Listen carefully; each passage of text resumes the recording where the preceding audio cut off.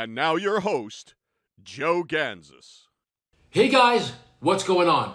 And welcome back to Around the Kits video live stream show. Today, Sunday, October 9th, 2022. I'm your host, Joe Gansas, and for the next two hours, we'll be talking drums, drums, drums, and if that's not enough, drum some more. Guys, we have another tremendous show tonight. Our main guest tonight, two of the best in the world of drumming at 8:30 p.m. Eastern Time. The living legend, Phil Ehart. In the 9:30 p.m. Eastern Time slot, Mark Zonder. Two great world-class drummers who happen to be really close friends. Um, I hope to get so much out of them. Mark has been on the show several times. This is the first time for Phil, so we're looking forward to it. And when you say Phil Ehart and Kansas, Wow, that whole catalog is just epic. And Mark Zonder is a legend in the world of metal from Fates Warning to everything he's doing to his brand new band A to Z. We'll talk about that and everything else. We're introducing today a brand new segment. Today's show will have no roundtable, but a brand new segment called Host versus Producer. The host, meaning me, Joe Gansas, will bring up a topic with our great producer slash director, John Besser. And we'll talk about this. It could be anything from drums to anything musically to bands, but it'll be definitely something music related as far as the topic. So these types of, you know, talks and segments, John has no idea what I'm going to be bringing up. So it's a cool little um, you know, not a roundtable, it's just a discussion. Me and John, we're looking forward to that. And our last show was a big success with the new aspect, thanks to John's lovely wife, Rayanne, who I wish would keep her mouth shut. Rayanne, shh, be quiet with the ideas. God, give me a headache. No, she's great, Rayanne, uh, John's beautiful wife. Her idea to bring, uh, you know, all aspects around the kit, which we love.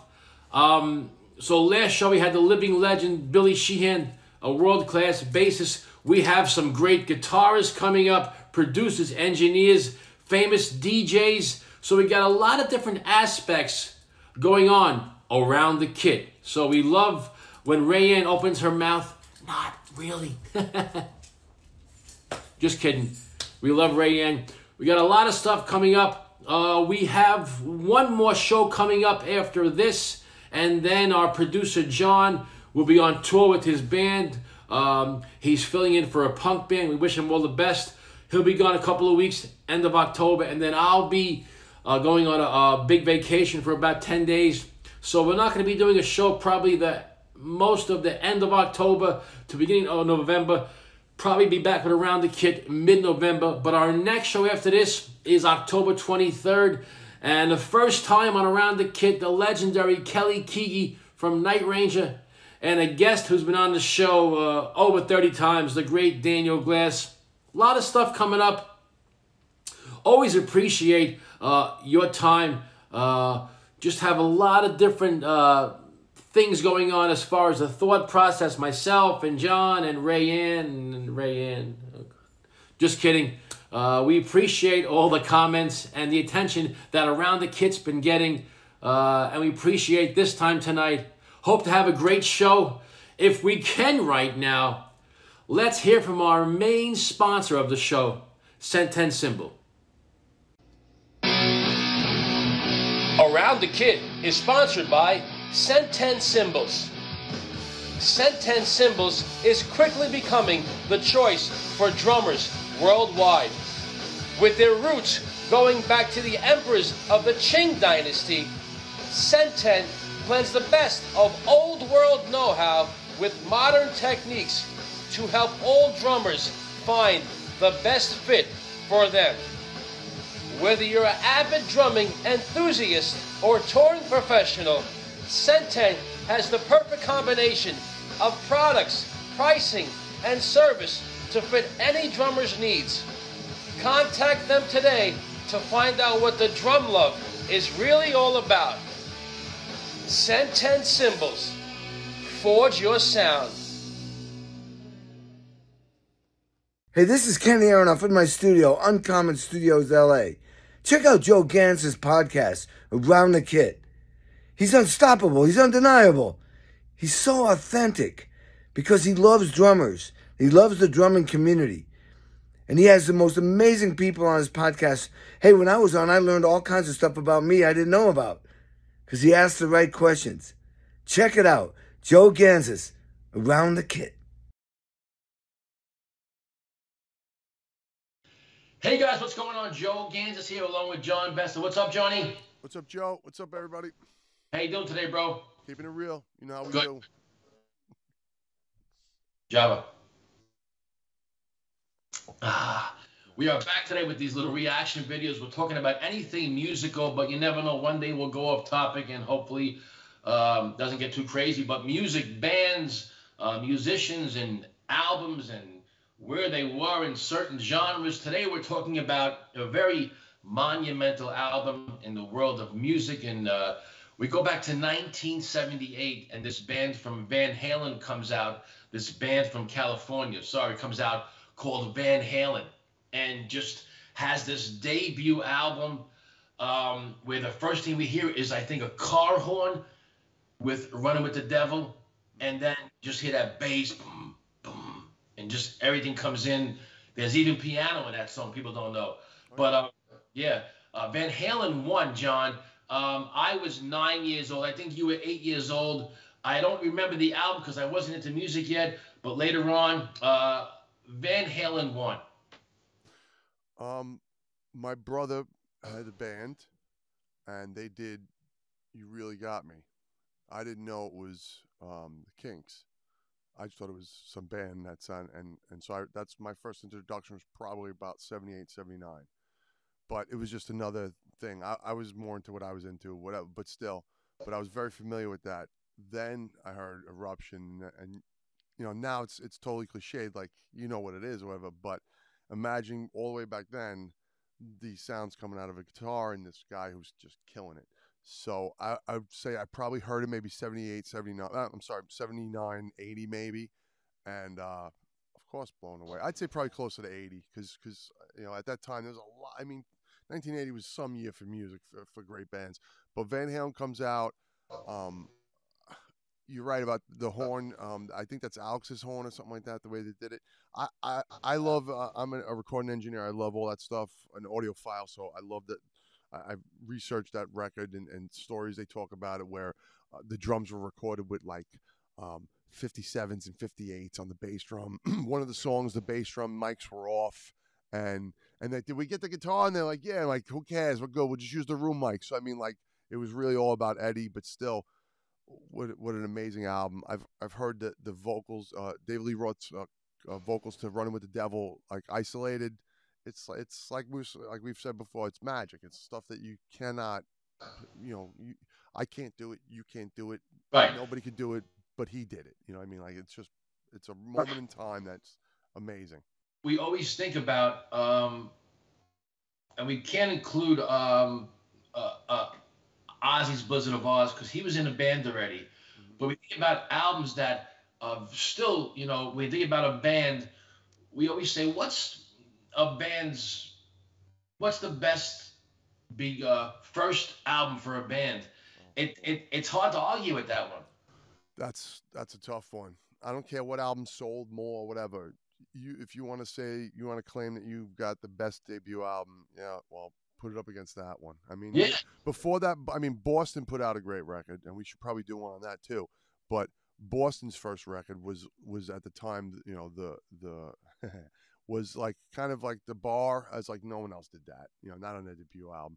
Yeah, And that was then- yeah, 70. Eh, of, yeah, yeah. 76. Yeah, but I'm saying, but like, there's that bar that no no one's gonna beat that, and then an album like Van Halen one comes out, and you can argue all you want. It's two different styles of music, more or less. You know, I mean, Tom Scholz is no Eddie Van Halen, and, and Eddie Van Halen is no Tom Scholz, and I'm sure Right, that I'm sure Eddie, oop, I'm sure Eddie um, admired Tom Scholz. Um, but and you know they're both innovators. That's pretty funny too. That those two He guys was. were both beyond you know beyond the guitaring, uh, guitar playing. But I- but that album is so powerful, and you know it, it worked its way up. They they went out on tour with Sabbath. Um, I mean, I, I have read a lot into uh, like Van Halen's beginnings because they're an amazing band. I've never they've never been my favorite band, but some of their songs are some of my favorite songs. You know what I mean? Yeah. And and definitely Eddie's my favorite guitar player. Period, hands down. My brother-in-law Tony Gunn, who was in a band with you, a great guitarist. Tony He- Gunn. Oh yeah. He's seen that tour. Oh, Uh, he's seen Van Halen he must have open. been blown away. I guess in New York for Sabbath, I guess. Yeah, he, he said it was awesome. But uh, but to be fair, is that album the same without Eruption? I think I think the songs would probably uh, Eruption didn't come out first, so they, their their um their boost came from covering the Kinks song, Right. and Which is- then Is, Yeah. is, is from Eruption. Eruption goes into that. no, but when it was first played, you didn't get Okay. a, like the single, like what was being played on the radio was not, until finally someone said, "What's this thing before that?" And then Right. that's when all all hell. But, but I'm saying like.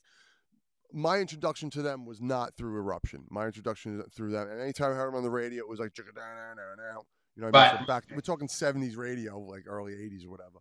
Um, Yeah. But but then their backup was they just added that little piece into the front of it, and it just changed. You know, changed the guitar world. You know. I Yeah. mean? I think it's it, and it's still a, you know, is it the greatest guitar solo of all time? I don't even, but I think it's just probably the most popular solo, maybe. And, and yeah, probably one of the worst, uh, one of the world's most famous ones. And, and you know that the story goes is that he was just noodling around, and uh, Donn Landee and um, oh, Jesus, I can't think of the producer. Help me, uh, Ted Oh. Templeman. He um, said hit, hit that record button, and recorded that, and like and played it back to him saying, "You," this is-" and he's like, "I was just noodling around." and and it was just fortunate that those guys heard that and were like hit that tape button and there's and there's eruption I think my brother-in-law Tony Gunn also told me that there's a mistake in that, and they left. yeah oh there's also there's one edit in there too it's so it's two pieces but yeah eddie says there's he goes I was mistaken there. Yeah okay. Go tell eddie. Go point out hey eddie i found that mistake. I mean you can't now. I was just watching something recently with, with him uh, and i'm like it's, it's amazing that he's not you know he's not around I- anymore. I know. I, and we look, we all the all the greats of today in, in in the metal genre. You got guys like you know everybody from from uh, George Lynch to, to a good friend of ours from Staten Island, the great Ron Thal, Bumblefoot, Steve Vai, Joe Satriani. They're all huge Eddie guys. I mean, even Yngwie talks about him in high regard. Yeah, absolutely.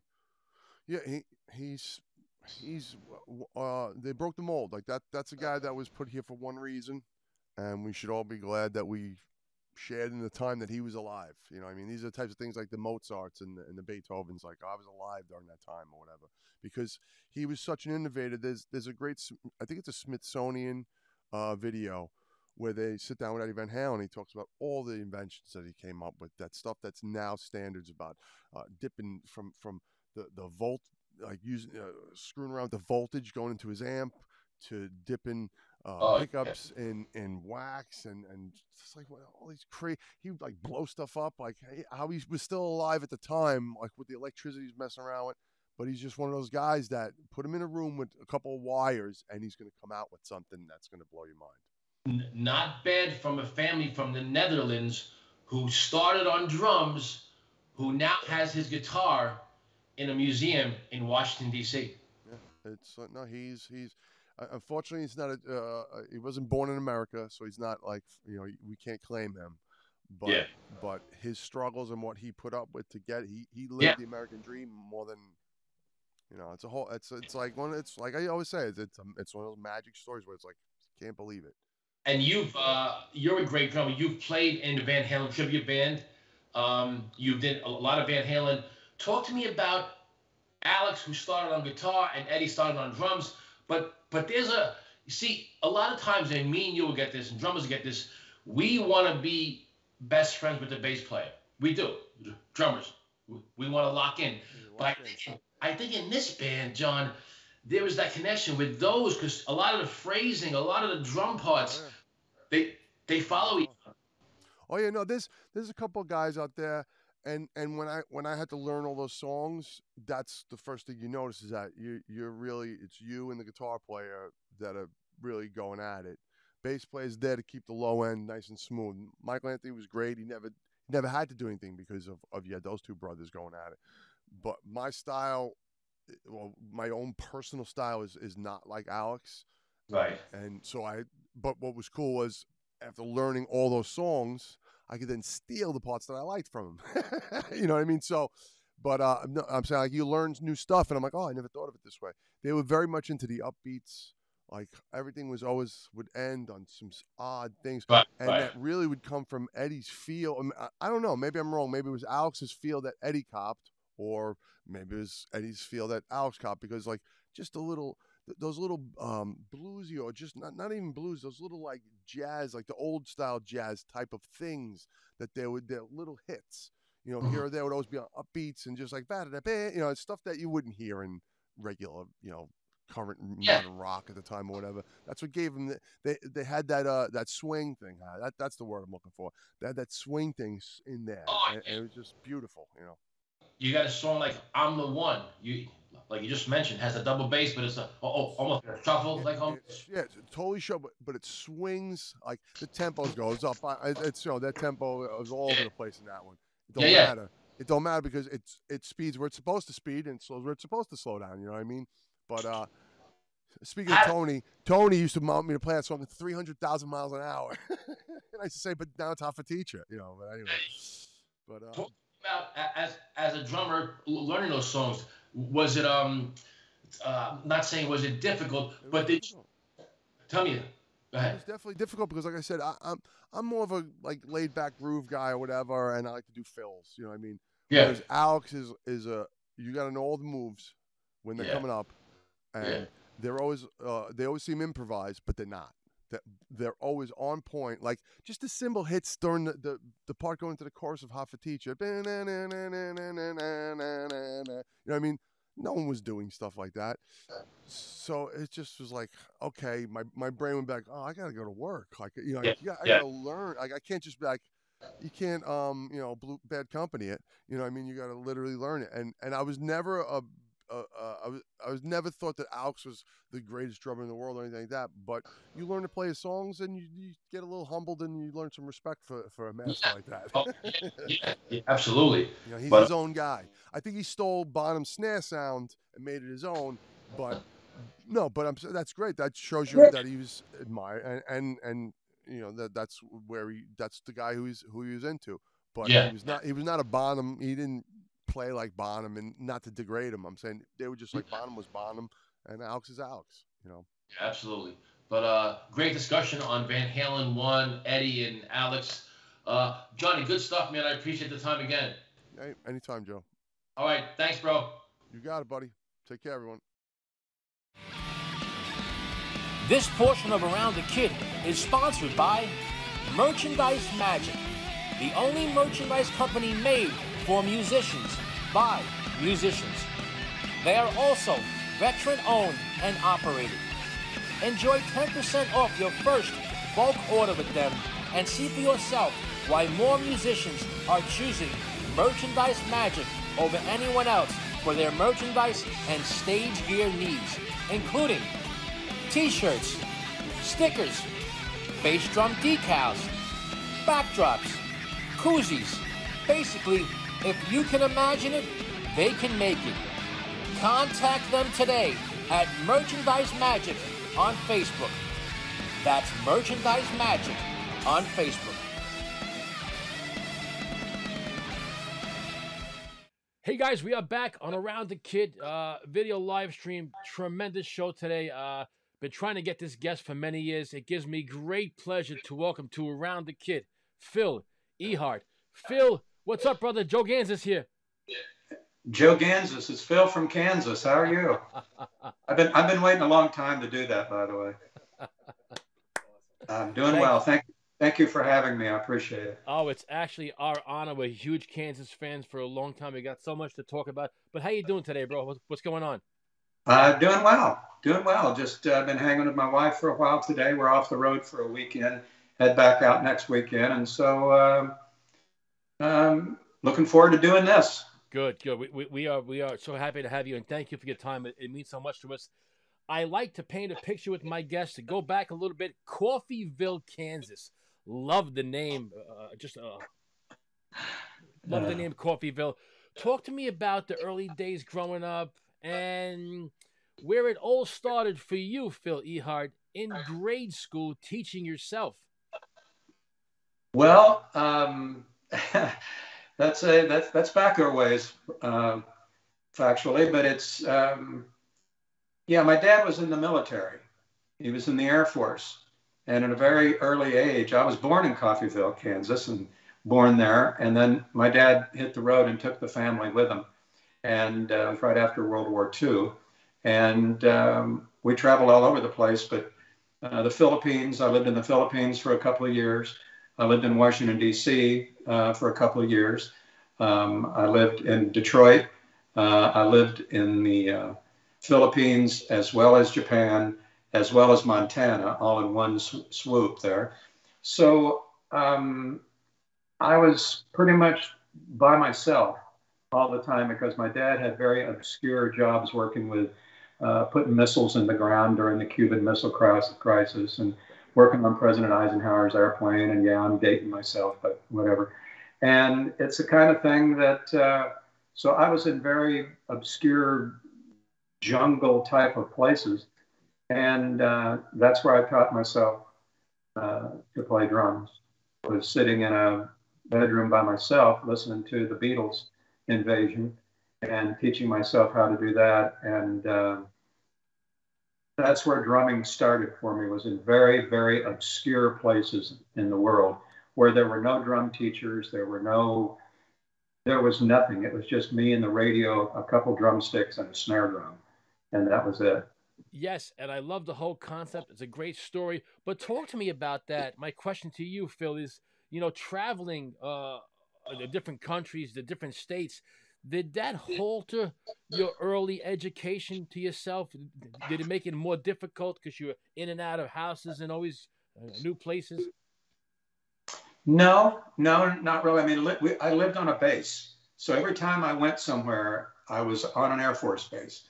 And they were big, big air bases, little air bases. The one out in Great Falls, Montana, out in the middle of nowhere. I mean, they, I was, but we finally settled in Topeka, Kansas. That's where my dad retired.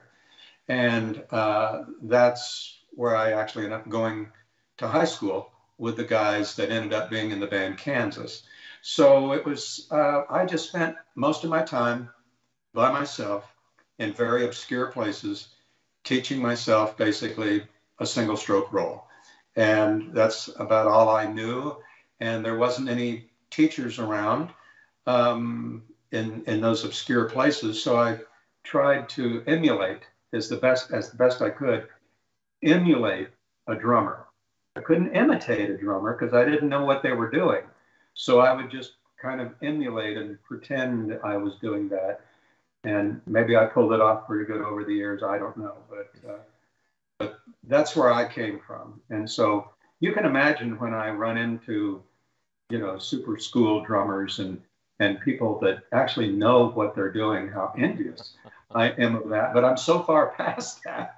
You know, it's like, oh, okay, I should have done that 30 or 40 years ago, but now I'm here, so I'm going to do this. And uh, but I have so much respect uh, for people that actually know what they're doing on a drum set.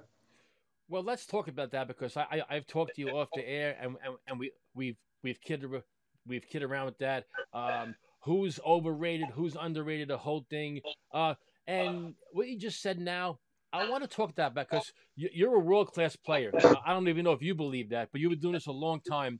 What do you mean when someone? Uh, I know you're kidding around, but what do you mean when somebody who actually knows what they're doing compared to you? I mean, tell me.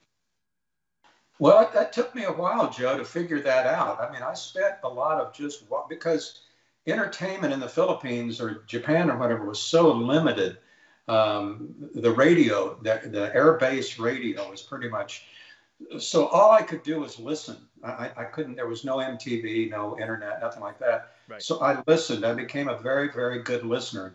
What what is that guy doing? It sounds like the drumsticks are going zzz. Well, I didn't know that, but it was a press roll. I, I had no idea what that was. So I would try to emulate that. And he's kind of doing that and pick it to bag. It's kind of a double stroke,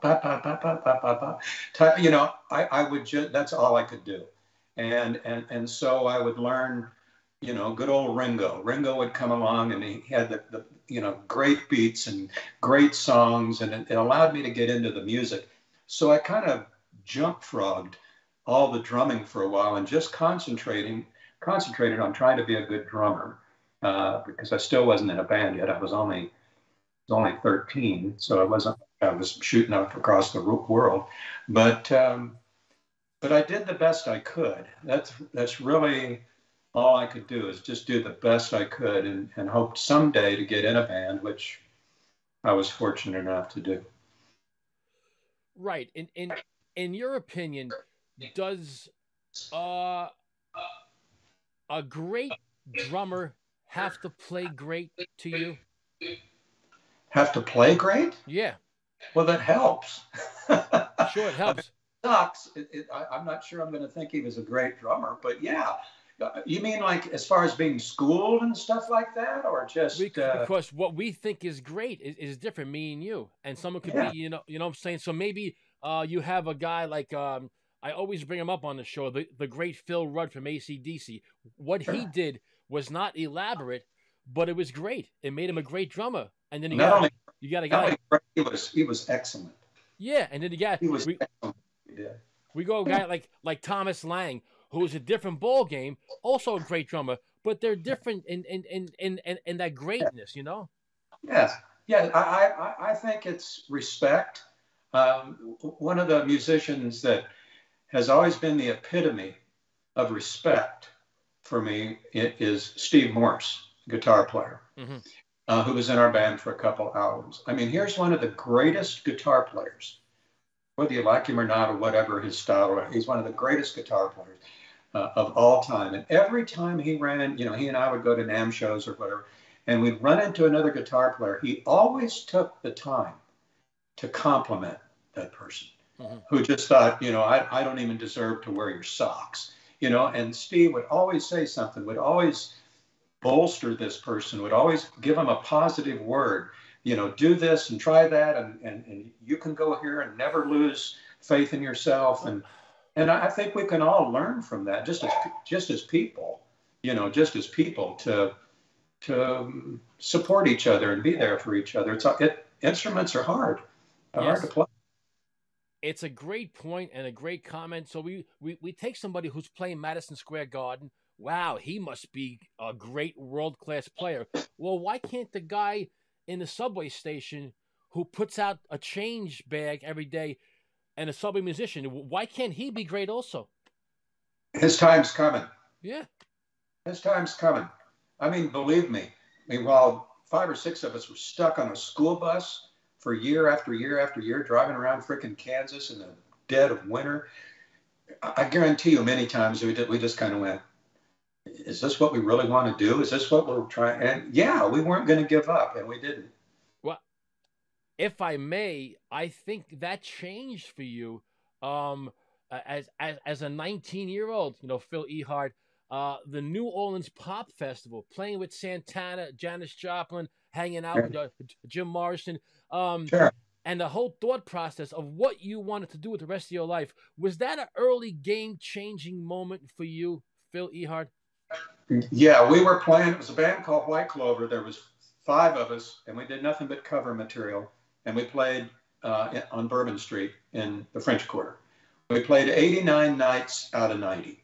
The only only reason we didn't play that one night is the toilet overflowed, so they had to empty the club. We would have played otherwise but we played four hours a night. And that's really where we learned our craft. You know, since we weren't in college or we weren't being schooled, we had to teach ourselves. And so we'd learn these songs and learn the different grooves and learn time signatures. And in that little club, that's where we started to develop. And then the club owner came to us and said, You've probably heard of Woodstock. Well, it's coming to New Orleans. Uh, the, the New Orleans Pop Festival, I want you guys on the show. okay, you know what? What right. we were a, we were a cover band, you know, and uh, there was about sixty thousand people that night, and um, all you know, the, basically everybody that was at Woodstock came came down there. But it was one of those things. I was telling my wife the other day. I came off the stage on the first performance at at uh, the New Orleans Pop Festival, and I was walking off the stage, and I looked back, and sitting dead in front of me, just sitting there looking at me, was Janis Joplin, sitting outside her trailer, and she said, "Hey, don't you ever give up. You guys are fucking great. Excuse my language. No, it's cool. that's what that's what she said. You guys are effing great. Don't ever give up. And I didn't. Did so? Do you look back? Uh, I, I talked to your wife. Is that something that sticks with you? Her, her, her words, they still stuck with you all these years. But see, that's important for all of us, Joe. Oh yeah. What what we say to people makes a difference. And and when I'd see, you know, Steve Morse say those things, I just go, God, what? I'm not sure I could do that. I'm not sure I could, you know. Right. And he could, and I learned from him, and to this day, I still do that because of him. And I think it's uh, we we all owe that to all musicians. It's an art form. Oh. Very few of us, very few of us get to do what I do. This is my 50th year in the band Kansas. Yeah. 50 freaking years doing this, and I'm very fortunate, and. I don't take it for granted ever. And I don't think any of us should ever. Yeah.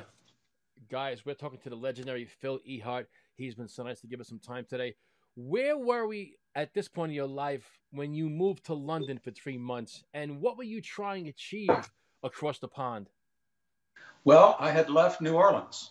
I had we had finished the pop festival. Our club date was done.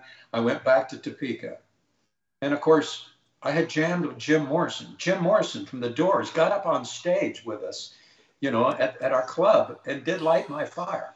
And we played with Iron Butterfly. We played with Joe Cocker. We played the New Orleans Pop Festival. And then all of a sudden, I'm in Topeka, Kansas by myself, just sitting there going, um, uh, I'm, not, I'm not sure I can do this.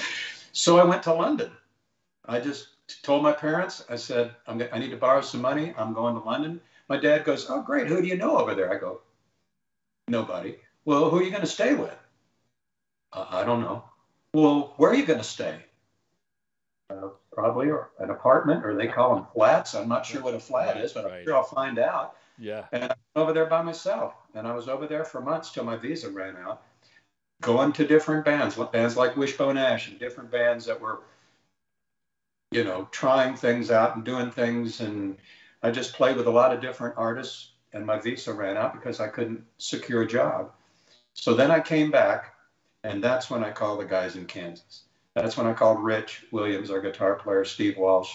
They said, "Man, you're back," and I said, "Yeah, let's let's st- let's start a band and do this for real." And that's that's what got it going. Did you need the London experience, or did you want it? Uh, you know, when you're that young and dumb, it, it's you don't. That's too deep a question. You know, it's not like well, I I really want the. I just thought, well, my favorite band in the world's Deep Purple, right. so I'm where they are. Why would I even? Why would I even think that? I just thought oh, they're coming out of there, and all the different bands from England are coming out. Maybe I should go there. Here's the thing: they weren't interested in an American, and I don't say that politically. They weren't interested. They were more interested in me as a country western drummer or a blues drummer or a jazz drummer. Pick pick any one of the big American brands of music. That's what they wanted me to play. Yeah. Well, I'm not a snooty guy. I love blues. You know, I'm not a jazz drummer, but you know, it's uh, I could have, but the clock just ran out. It, it just ran. I had to come back, and it's a good thing it did because it all worked out for the best. I'm talking to you today. Yeah, absolutely. And we are lucky yeah. you're here and we thank you so much. You're a fan of so many different drummers from all the greats of yesterday and today. A good friend of yours, Todd Sucherman, who we talked about, the late yeah. great Taylor Hawkins. But why, why Phil Ehart is Ian Paice your guy? Well, good question. It, I, I think back to Deep Purple and of course, you know, Bonham was the rage. I mean, uh, rightly so, by the way. And um, but Ian, Ian had these chops that nobody else had, maybe except for Barriemore Barlow Mm, from uh, yeah. from uh, Tull. Tull, you know, yeah. but but the British drummers were a, a lot like drummers I weren't I wasn't familiar with the, the way they played. They were so schooled and so smooth and so good at what they did. But Ian Paice, I just liked Deep Purple. I just liked that band. Ian Gillan, Ritchie Blackmore, what a guitar player. You know, that was a band because they had the interesting arrangements. They their, their arrangements changed so much. And early Kansas arrangements Oh, yeah. changed like that. So I was uh, I was more at home with Ian Paice than I was the other uh, British drummers, and uh, not comfortably at home. The guy was still is to this day a force to be reckoned with. But uh, but yeah, I just really like Deep Purple and to this day. Cool. Awesome stuff. If we can, let's talk about a very influential man in the early days named Bud Carr, who took a lot of different roles and essentially was a very intricate part of the evolution of Kansas. Sure. Well, Bud was our manager. Okay. And we started out as our booking agent. And when we signed with Don Kirshner, we didn't have a manager. Uh, we didn't even have a road manager. We didn't even have any road crew. I mean, we were just six guys in Topeka. We were going to pack up all our gear. And then they told us not to. You could just rent everything in New York. And so we got up there and, you know, having to use rental gear to cut your first album, that's not really what we had in mind. But nobody met us at the airport. We were living on a dollar a day. That's what we were paid in New York, a dollar a day. Well, if you've ever been to New York, that's not going to work really well. But we went to the record plant and we started recording, and Aerosmith was in there, John Lennon was in there, Yoko was in there, Rick Derringer, and Kansas. You know, just these guys in their overalls and cowboy boots, you know, sitting in the record plant. And that's how it started for us. I mean, we we just kind of sat there, sat there on our hands like I am right now, and just kind of looking around, waiting for shit to happen. Because we just didn't. Well, what's supposed to happen now? Do we make a record now? Do we? We didn't have anybody helping us. We didn't even have an attorney. And uh, one of the record company guys said, "Well, you guys need to see an attorney. You need to see. You need to look at this recording contract." So he sent us to his attorney. he sent us to his attorney. Well, we didn't know the difference. You know, we didn't know we were supposed to have our own attorney. Right, right. You're going to have my attorney because you're signing my contract. Worked out fine. Worked out fine. I, I will never diss, uh, none of us will ever diss Don Kirshner ever because without him, I wouldn't be here right now. Yeah, it was yeah. because of him and his opportunities that he gave us that the band was able to be successful. So it, it's a very odd story, and it's uh, it, it's really you know rags to riches. I mean, you can't get much raggier than a dollar a day, and, and especially some of the guys that smoked. Yeah. fifty for cigarettes or a quarter or whatever. But it uh, we we hung in there. We Yeah. hung in. and We've, we've persevered. And we've been very fortunate. But but for many years now, you've taken on a much bigger role in Kansas, not just drummer, but uh, also management. Talk about that transition and how that's worked out for you. Well, um, it was nothing. It's nothing I ever set out to do. I, I I never said. Not only do I want to be a really good drummer, I want to manage the band. Said no one ever. You know, I mean, it kind of thing. It, it's the kind of thing that um, No. certain things led to certain things. Uh, Bud Bud Carr became one of the largest music supervisors for films uh, in the world, and uh, so to this day, he and I are still, you know, great friends. And I just kind of took over. I told Rich and Steve, I said, I'll take over management in the band until we get a manager. And that was 40 years ago. So I was always looking. We were interviewing other managers, but it never really fit us as well as I fit us at that particular time. And uh, and it worked out great. And I'm still manager today. I keep waiting for the guys to fire me. But, uh, I, I don't know if that's going to happen or not. Maybe so. Who knows? I doubt it. All these years in Kansas, and Who was on every album? You and who else? I forgot. Me, me, me and Richard Williams, Richard Williams on. I think. I yeah. think to date, 16 albums, if I'm wrong, to date, 16. Yeah, it could be up around 16, 17, whatever. Yeah. And talk to me about that because, you know, there's been some change over the years in Kansas, but you know, the back the backbone of the band has been there. That's got to say so much to to the other guys coming in and out that, you know, you, you wanted to be there and, and and you stayed this long. Well, I'm not sure I had a choice. You know, it was it was the kind of thing. You know, when I came back from England, Richard was the first guy I called. Yeah. I mean, he was really the, the very first guy.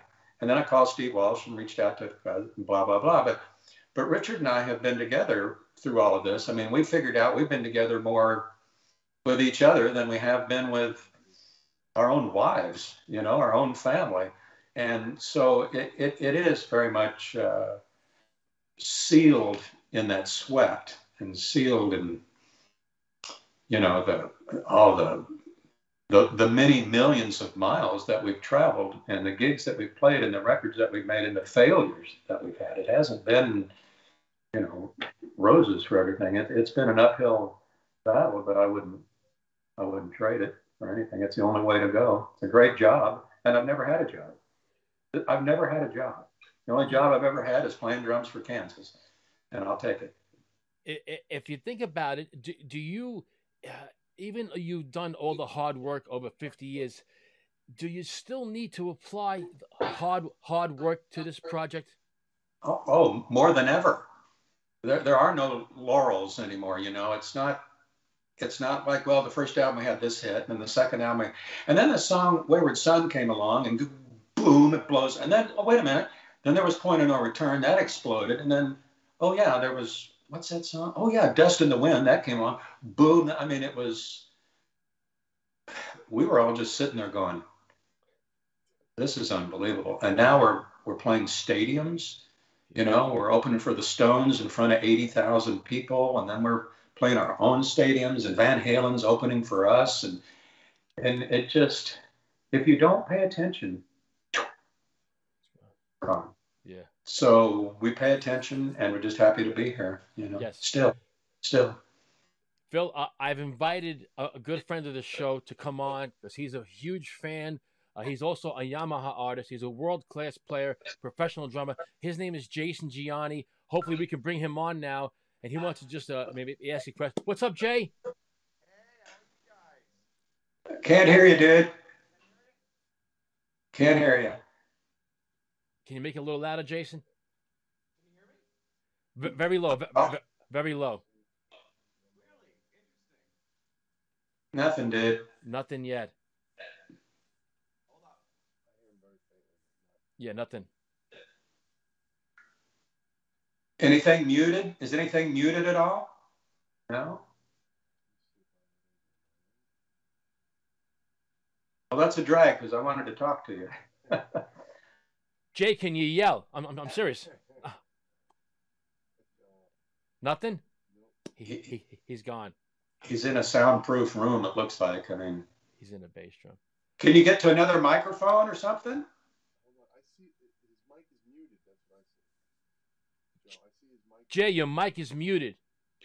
Un, unmuted. Okay, can you hear me at all? Yeah, we're starting to hear him now. A little better, a little better. Yeah, I think I heard you. Yell again. Hey, hey, uh, can you hear me at all? I, I can hear you at distance. I, I can see you. A little better. Okay. Hi, hi. Uh, I don't know what's happening. okay, I can hear you now. Okay, if you could just talk a little louder, maybe we, we, we, we can get I it can going. hear- Okay, I I, can hear you. don't know what's going on. Phil, it's good to see you, man. Hey, man. How are you? I, I'm well, thank you. Good, good, good. Um, we've seen each other at Yamaha events before. Yes, no, I, I, I remember your face. Yeah. Yeah, man, Yeah. it's good to see you. Uh, I just got to see you at the uh, the balloon festival in New Jersey. Uh, I missed I missed saying hello, but I was with uh, my friend Tom Bruslin. Oh, yeah. Yeah, Yeah. So uh, he's wonderful. But uh, I just wanted to say hello. And uh, Joe uh, wanted me to ask you a question. besides saying hello. So uh, I figured I ask real quick and say, um, you know, back in, in record one, when you guys already established your sound, and uh, there was a song like, say, uh, "Journey from Mariabronn." Uh, did you guys know right away that you know this was something new and fresh and something nobody had really sort of done at that time? Well, we, we would hope so. I mean, Journey from Mariabronn um, was the kind of thing that we just worked it up at rehearsals. Um, it, it's not exactly the easiest song to play drum wise. And, and it's the kind of thing, and a lot of Kansas songs are not the easiest song, but that was one of the first songs in our career that had that kind of heavy progressive, just progressiveness. And Kerry kind of took off from there, and those seeds were planted. That song had a lot to do as to where Kansas went for the next 20 years. And and Steve singing, what an incredible vocal he put on that. We had the violin. I mean, it was it was uh, that was a song where you just kind of get out of the way. And what was interesting, where the song went over really well is when we opened for Queen, of all bands. You know, I remember Roger Taylor really liked Journey from Mariabronn, and I said, "You do?" And he goes, "Yeah, it's." It's insane. It's insane, mate. It's insane. I said, well, yeah, it is insane. But uh, those are the tours that we did with Queen, and they were insane.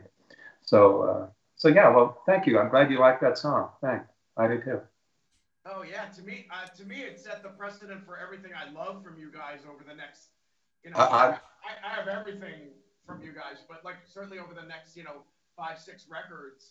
Uh, and uh, you know, I'm, I'm very, um, I'm somewhat of a music historian, so I always look at the the musicians who sort of do things for the first time.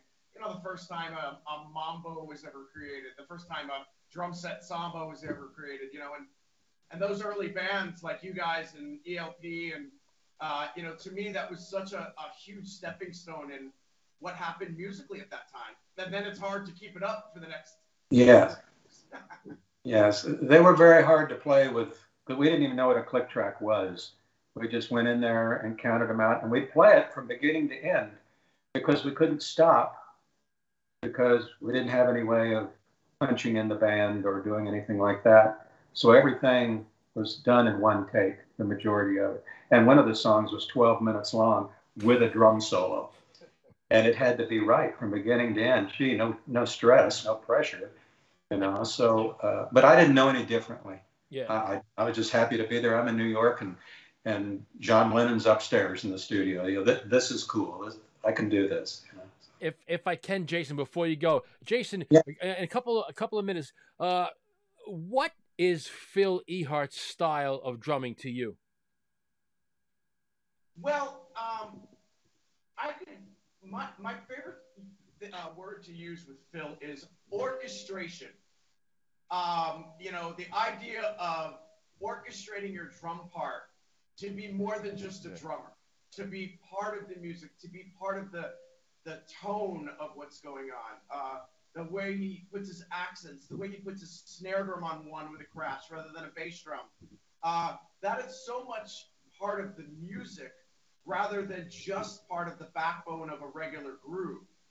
And Phil has a wonderful groove, uh, but he has such wonderful musicality too.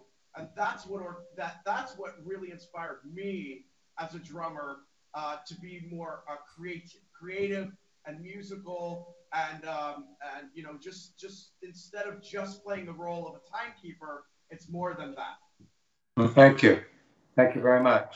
Absolutely. That's beautiful. I've never had anybody ever tell me that. I had no idea I could do all that. uh, thank you. Well, Thanks. Jason, I know you got to go. I appreciate so much the great Jason Gianni for coming on for a little while, bro. It's really nice meeting you. It's great meeting you. Yeah, thank you, Phil, and it's good seeing you again. Uh, we'll see each other at another Yamaha event at some point. All right, man. I'll look for you. Okay, brother. I'll see you. Later. Thanks, Jason Gianni. Oh, great stuff. Yeah. What? Yeah, yeah.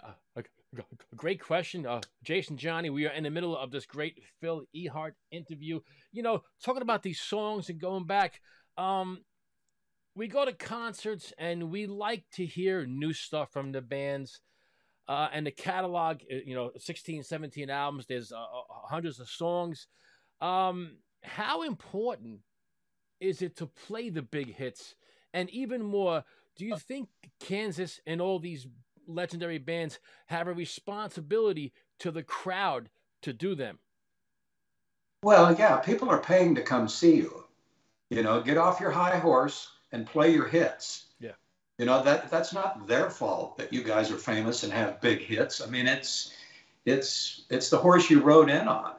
And so it just so happens one of my favorite songs we've ever recorded is "Carry On Wayward Son." I actually like that song. It's actually a fun song to drum to, and I know it's made a lot of drummers' lives hell, but it, it's the kind of thing that I just I, I like playing it. And of course, that opening "Don't You Cry," no boom, boom, boom, boom, whack. You know, the whole place just goes freaking crazy. And that part wasn't even supposed to be in there. When we were recording the song, again, we had no click tracks. So, you know, the, the a cappella vo- vocals are going over. And, and I just put that joom, joom, joom, joom, whack, as actually it's a bass drum, doom, doom, doom, doom, whack, as a placekeeper. And then I was going to come back and don't you cry, no, whack, you know, I was going to do something fancy. Well, everybody liked the doom, doom, doom, doom. Everybody's going, Phil, just leave that. It's great. So accidentally, it, it was left in there. And uh, that song, Wayward Son, wasn't even supposed to be on the album.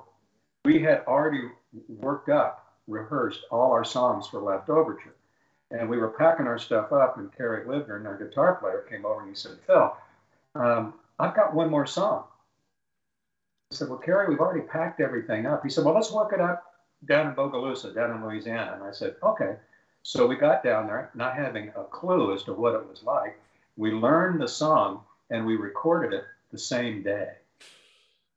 It was like, that's really good. Let's let's put that down. And and so we did. Steve wasn't even there. He'd had a death in the family, and he came back, and you know he added the a cappella vocals, and we turned it and we just polished that thing up right there on the you know right in the studio on the day that we probably within 24 hours of learning it we got it all done and the next thing we knew we had a huge hit hit single so don't don't make any plans they will change yeah you know? yeah we It- were very fortunate with it's a- wayward son it's a great testament to we hear we hear a stairway to heaven it was written in 12 minutes sometimes Mhm. the magic just happens no it just get out of the way you just need to get yeah You know, it doesn't need anything, just get out of the way. And we did. So we were fortunate. Same with Dust in the Wind. It was a finger exercise. Kerry was practicing on acoustic guitar, and his wife heard him practicing and said, Honey, you need to make that into a song. So he did. Biggest song we've ever had. and a song that you had uh, uh, co-written on was "Point of No Return." It's actually Uh-huh. it's actually my favorite Kansas song 'cause I just love. ba-da, dibba, dibba, dibba, dibba. Ah, see, I, I would do it. So I, how we would do it. I, I play a lot of songs where I change it up, so I would I would double bass that part. But it's, it's Oh. a, yeah, it'd be, it'd be cool. It'd be cool to do that, you know. Don't Yeah, do that yeah. now. Yeah. get that out of my head now. Ah, Feels like, oh, Joe, why'd you do that to me? What I could have done. Yes. No, That turned could- out You you could have been somebody, Phil. See, I could have. I could have been a contender. maybe we get maybe we get Joe Gansas in Kansas. It's a natural. It's a natural. But is is that song a little extra special to you because you had a hand in that one? Well, um, actually, I came up with the album cover uh, for the album Point of No Return, and I came up uh, with the with the cover. Uh, well, I didn't come up with it. I, my concept of the ship going over, and and Peter Lloyd, the artist, is who he gets the credit for the album cover. He did that, but the title was mine. And our manager, Bud Carr, said, "Why don't you make it K N O W?" Okay, great. So Point of No Return was my title, and Steve gave me credit as a songwriter because he used it in the chorus, and it's the name of the song. So, Yeah. so I was very fortunate just to be hanging around at the right time. What has always because uh we've talked about we talked about songs that are three or four, five minutes long, 10, 12 minute long, and, and the catalog is, is so vast. What has always been your thought process, Phil Ehart, in in in writing drum parts and arranging? Is there always been a, a, a place you went to, to to to think about what you want to do in each song? I've never been asked that question, Joe. I have never. That is an awesome question. Um, wow. Well, I, I will tell you that probably the majority of the 15, 16, 17, 18 albums that we've done, I, have written every drum part to every song. Now, what does that mean exactly? Am I sitting down and notating everything? No, I, I'm I'm having as Kerry is showing everybody the song, he'll you know look over to Rich and show Rich some of the chords, and Rich will take it from there and come up with a. He would have shown Robby, rest his soul, the the violin parts and that kind of stuff, and of course he wrote the lyrics, and so he's showing people lyrics and stuff. He didn't show me much.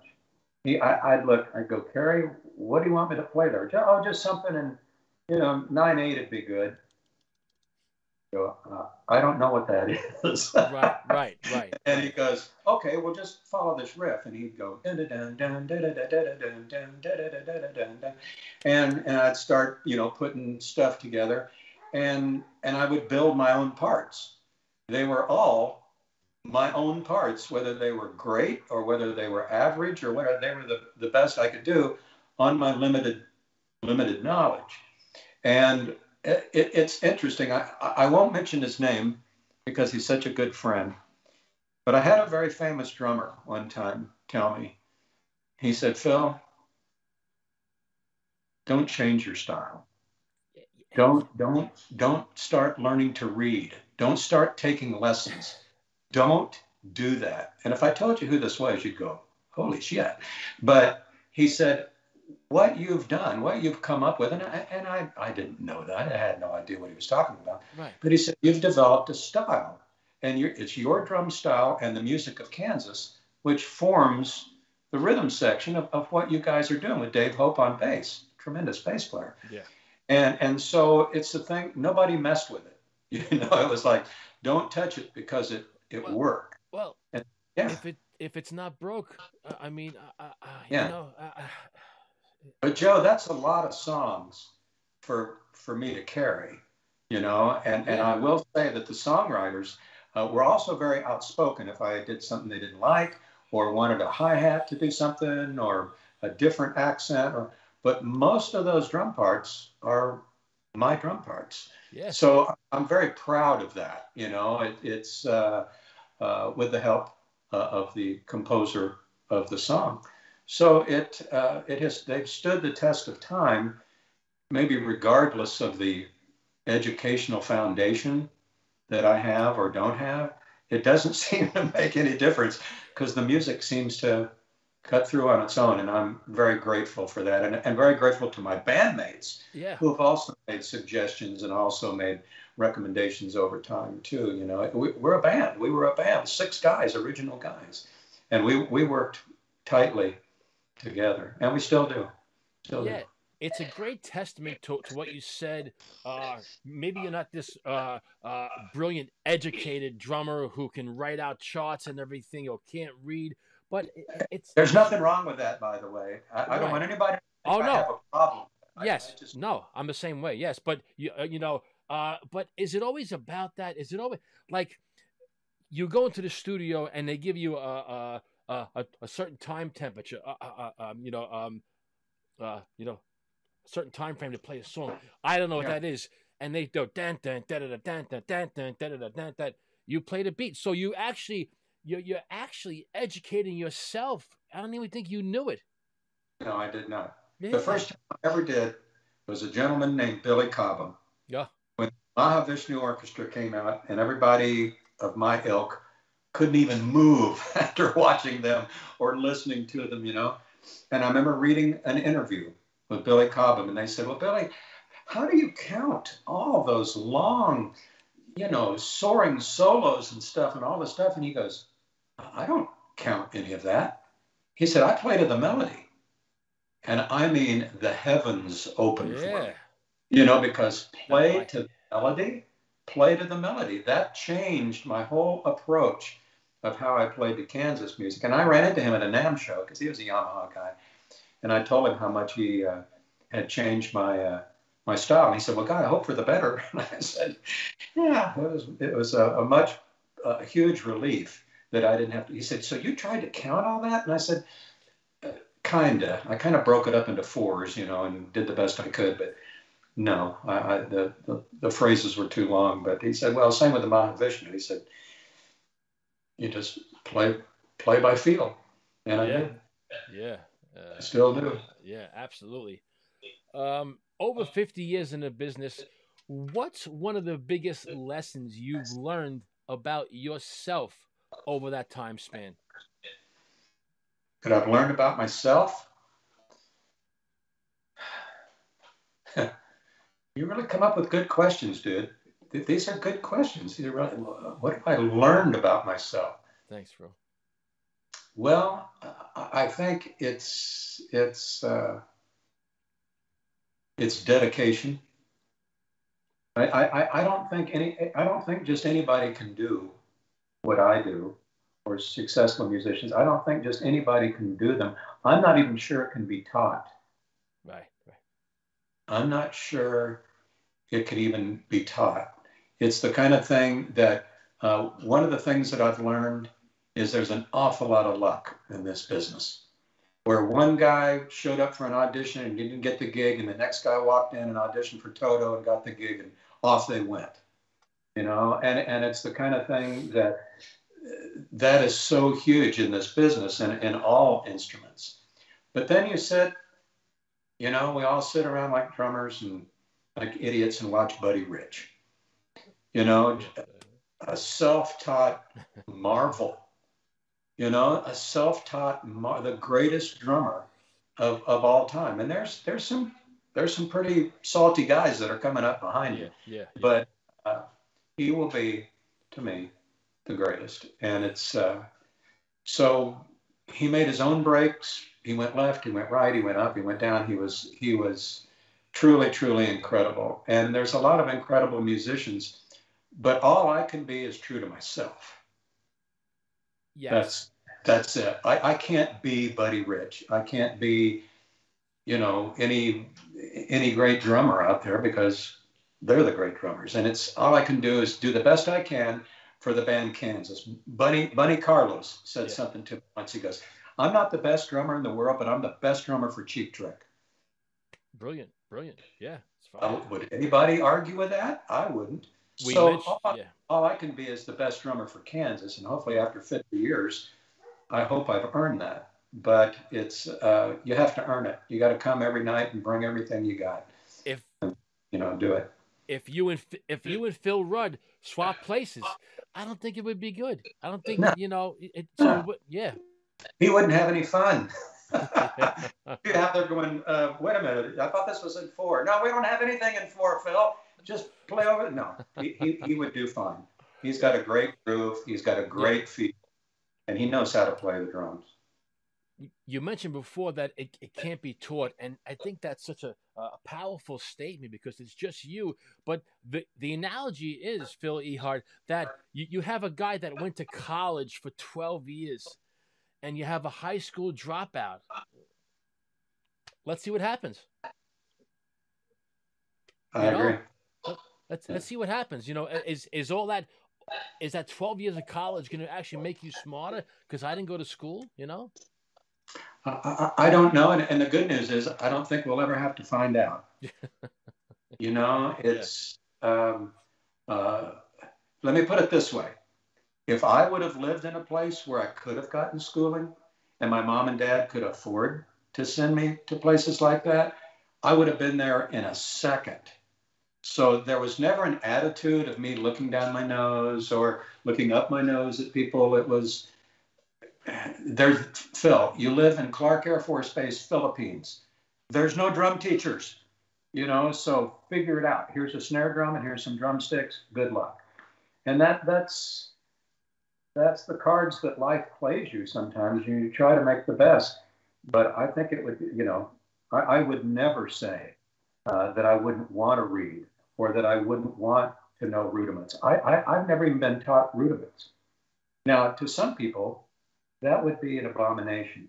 In fact, right now they would turn they would turn this program off. I guarantee it because they've done it in front of me.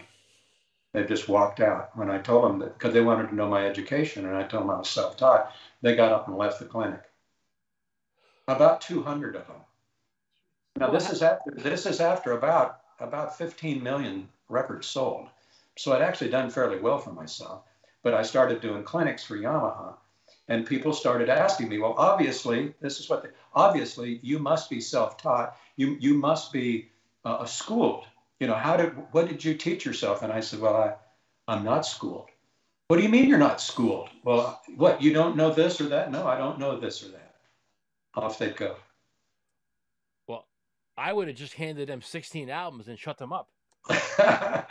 well, it, it, no. it, did hurt. You know, it, it, it was hurtful because, you know, it's, you try. You know, I was handed a certain deck of cards, and that's all I could play, and I had to make the best of it. And when Kansas needed a drummer in the state of Kansas, choice wasn't there wasn't there wasn't a big array of drummers. Yeah, yeah. it was like me and another jazz guy, and that's it that was it. That's that's who was in the band, and that's who went on, and that's still who's in the band. So it it uh, you can never give up. You can never give up. Don't ever think you know it all. Don't ever ever think you know it all. Yeah. That's uh, you'll you'll die quickly you know, on the vine. So in my in my opinion. Yeah. Uh, guys, the legendary Phil Ehart, he's been so nice to give us some time today let's talk about that. I got a couple more, and I, am just so uh, appreciated this time with you. Um, okay. What are we doing now? Uh, you've you've accomplished. Have you guys accomplished a lot? And it's a question that you probably say, "Well, of course we did, Joe. We have 16 albums and we played uh, Ole Million." But have you guys accomplished enough for yourselves internally that you you're content Another good question. Um, I, I, think we. I think you. When you do something for a career, you you know it starts to narrow. The hallway starts to narrow as you start getting farther down the hallway, and and of course Kansas has accomplished a lot.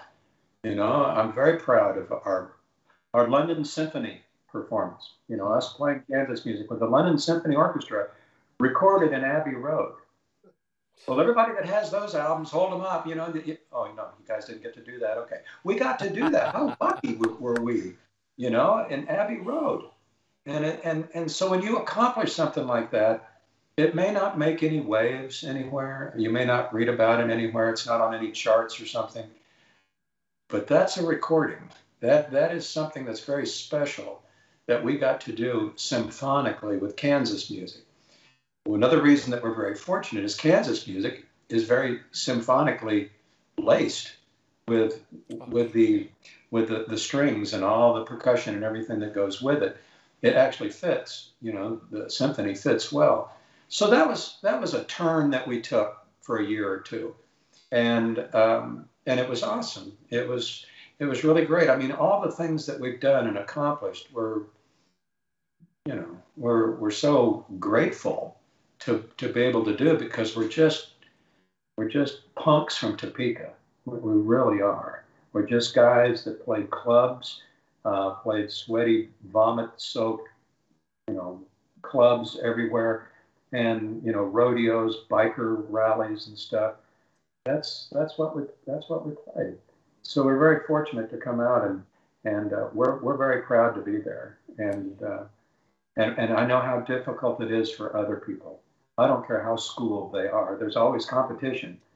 You know, I don't care how schooled those Air Force drummers are or those Marine drummers are. When they go there, they got about 44 guys they got to beat out just to get, you know, the snare drum uh, to march uh, with the uh, funerals. There's, there's thousands of those guys that try out for those things. Those guys are freaking awesome. Looks like something anybody could do. Yeah, good luck. So it's um, it, it, it is the kind of thing that I do. Do I look at as a kind of a panacea of Kansas things we've accomplished? Sure. Are we still accomplishing things? Sure. And are we going to keep trying? Sure. Until we look at each other and go, you know, we've pretty much done it all. Wish you the best. Shake hands, bro hug, ride off into the sunset. Yes, and I'm just sitting here thinking about this. Uh, great comments by you. All the success, and it's another de- uh, deep question. Can we still? Uh, I'm going to ask this. Can we still welcome failure? In, in the music business or what, just in general? Everything you do in Kansas. I mean, because it because you you're going to still make mistakes. Is is is that something you still have to say to yourself? You know, it, it's possible that even we're a famous band, we're going to still fail. Oh, oh, very much so. We we have gigs at night where we stink. You know, it's like, wow, what band was that? But that happens to all bands. You sit around with your bandmates and you talk yeah. about stuff. Everybody, uh, you know, goes, oh yeah, that's happened to us. Oh God, we had to leave the stage. Yeah, what's his name screwed up so bad that we had to go do this or that, and it it it happens to everyone, and that's why they have things called rehearsals, because you better make a mistake. I better not make a mistake in front of all these other guys who are busting their butts. Uh, there's a thing in Kansas. You don't want to be the low man on the totem pole in the band Kansas. I don't want to be that guy. Right, right, right. Standing in front of these guys and them looking at me, we're all going. Um, so we all work our butts off. Before we play every night, we practice for an hour and a half backstage with our with our muted instruments and stuff, going through the whole set before we even go play. Just to make sure that we're dialed in and ready to go. And we're going to give the people everything we can the best way we can. Will we make mistakes? Oh, yeah, it's going to happen. But we're giving a shit. We are trying. We're not up there, you know, yeah, glad you guys made the show. Hope yeah, sorry we sucked. No, that, that's not that's not us. Take it very, very seriously, and we do every night we play. Yeah, it's it's been a it's been a a, a career uh, of you guys, especially you, of dedication and passion, and doing something that you didn't even know was going to happen, but it all came into fruition uh, after yeah. after London. You, you you made up your mind. Um, uh, Kansas uh, has created this this entity, uh, uh, uh millions of albums, 16, 17, uh, millions of fans, all the world tours. It's it's it's a great testament, and I know it's a, cl- a cliche that that hard work pays off, Phil. You'd hope so. it, it's too hard if it doesn't. You know, it, it uh, there's a lot of luck, and it, and that luck has to do with how hard you work. Yeah. If you don't work hard, you're not going to have much good luck. Yeah. Not, not much is going to happen to you. You're not going to fall into some things where I'm going to try this role tonight. Holy shit, I can't believe I actually played it. I've been trying to do that, you know, and okay, great. And the guys are looking at me going, hey, that was great. Uh, yeah, who knew? 50 years later, I'd come up with a new lick, you know. But it's um, it, it's also a lot of fun, Joe. Yeah, yeah. It's also an awful lot of fun to play in a band like Kansas. It's um, it's it kicks your ass, but it's a lot of fun. Uh, my last question is, involves you. Uh, uh, 72 years old. You look phenomenal, by the way. And I'm not. I never bullshit. Oh. You look. You look tremendous, brother um, yeah, uh, uh, seriously, uh, I'm I'm 53 and I, I, look older than you probably. But um, to talk to me about the body, you know, playing 50 years and it's not two three minute songs. How has the body over the years held up? And uh, are you are you playing different than 50 years ago? I mean, just uh, it, it, it happens. Hmm. Well, uh, I've had to make quite a few changes, you know, uh, in, in how I play and how I exercise, how I stretch, because of a 72 year old body is not a 22 year old body. Mm-hmm. And a lot of these Kansas songs were written in my 20s. I'm now playing them in my 70s. who thought that was a good idea? You know, so it, it's the kind of thing that. Uh, but you know, I run into Rod Morgenstein and guys, you know, uh, guys that have been my friends for uh, so long, and that's what we talk about. You know, Matt Frenette from uh, from Loverboy and stuff. We, we talk about, dude, how you stay in shape. You know, well, I got to do this and I got to do that, and I, I try to do this other night. Oh, God, I pull something. You know, oh, you know, I can't do that anymore. It's um, it's not a pitiful thing. I, I think if you couldn't proficiently play your instrument, you I would imagine most guys would step down. So you try to you try to work on better things and take care of yourself. And uh, there's a whole new regimen, workout regimen out there now for drummer for classic rock drummers. Yeah. Because most of us are in our 60s and 70s, 50s, 60s, and 70s. That used to be an age that people would even laugh at if you tried to play in a rock band. Right. But look at Charlie Watts, rest his soul. The guy, the guy was awesome, Yeah. right up, right up to the end, you know. And and um, so that's what you do. You you what can I do proficiently? What can I do professionally? What can I do percussion wise every night to get up there and bring to the party what I need to bring? If I can't do it, I got to be honest with myself. Is is is the mental aspect more involved now? Yes, very much so. Very, very much so. Because I because because and I'm speaking for me because I'm the manager of the band. Yeah. So I've got all the stuff all day. Whether we're getting there, whether we're getting back. I mean, the road managers take care of stuff, but you know, the gigs, the recordings, all the stuff, the just the warfare within the band. You know, just the the people's, you know, well, I'm unhappy with this or that. You know, the the personalities that I have to deal with. Nobody else has to deal with them. I have to deal with it, you know. So, and that's fine. I don't have a problem with it. But there's a lot of band stuff in my life that someday I need to walk away from because I won't be able to do it as well as I can do it today. And um, so I'm hanging in there, doing the best I can. Well, we hope that time never comes, but if it does, here's the headline: Kansas in Kansas. Come on. You go, you go ahead with that. I like that. You go ahead. I like it. Thank, thank you again so much for having me. Well, Phil, it was, uh, it was I- excellent. You did an I- excellent job. I have to ask you because I've asked this question before we go to over Uh. 370 drummers, and it's an honest answer. So I need an honest, uh, uh, uh, honest question, honest answer. Phil Ehart, how would you rate this interview, honestly?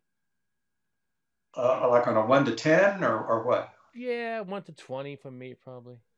120, one to 120. It was excellent. I would give it an A plus. I would give it a 100. Good, brother. I appreciate this so I, and. I've had a, I've, I've done a lot of these, and, and you thought about your questions, and, and you gave me a chance to talk, which is very rare. Lots of times, uh, you know, it's the guy's show, and so you come on the guy's show, and you might get in a couple sentences or whatever, but you were very uh, magnanimous in in letting me talk. So I appreciate it. we appreciate you guys, the legendary Phil Ehart. We will check you out coming up.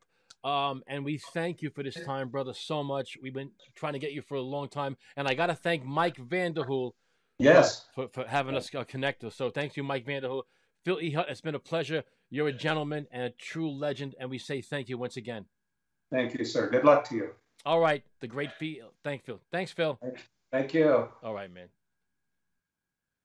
Oh, guys, guys, great stuff. Uh, tremendous stuff there.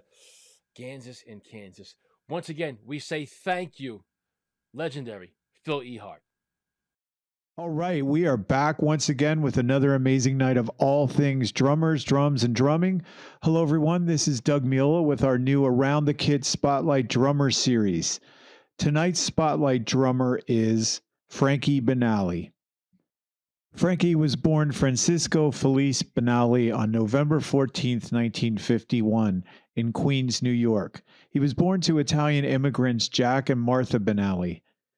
Frankie had a pretty typical Italian upbringing and he fell in love with drums and drumming. His main influences included John Bonham and Buddy Rich, as well as Simon Phillips, Dennis Chambers, and Vinnie Colaiuto, to name a few.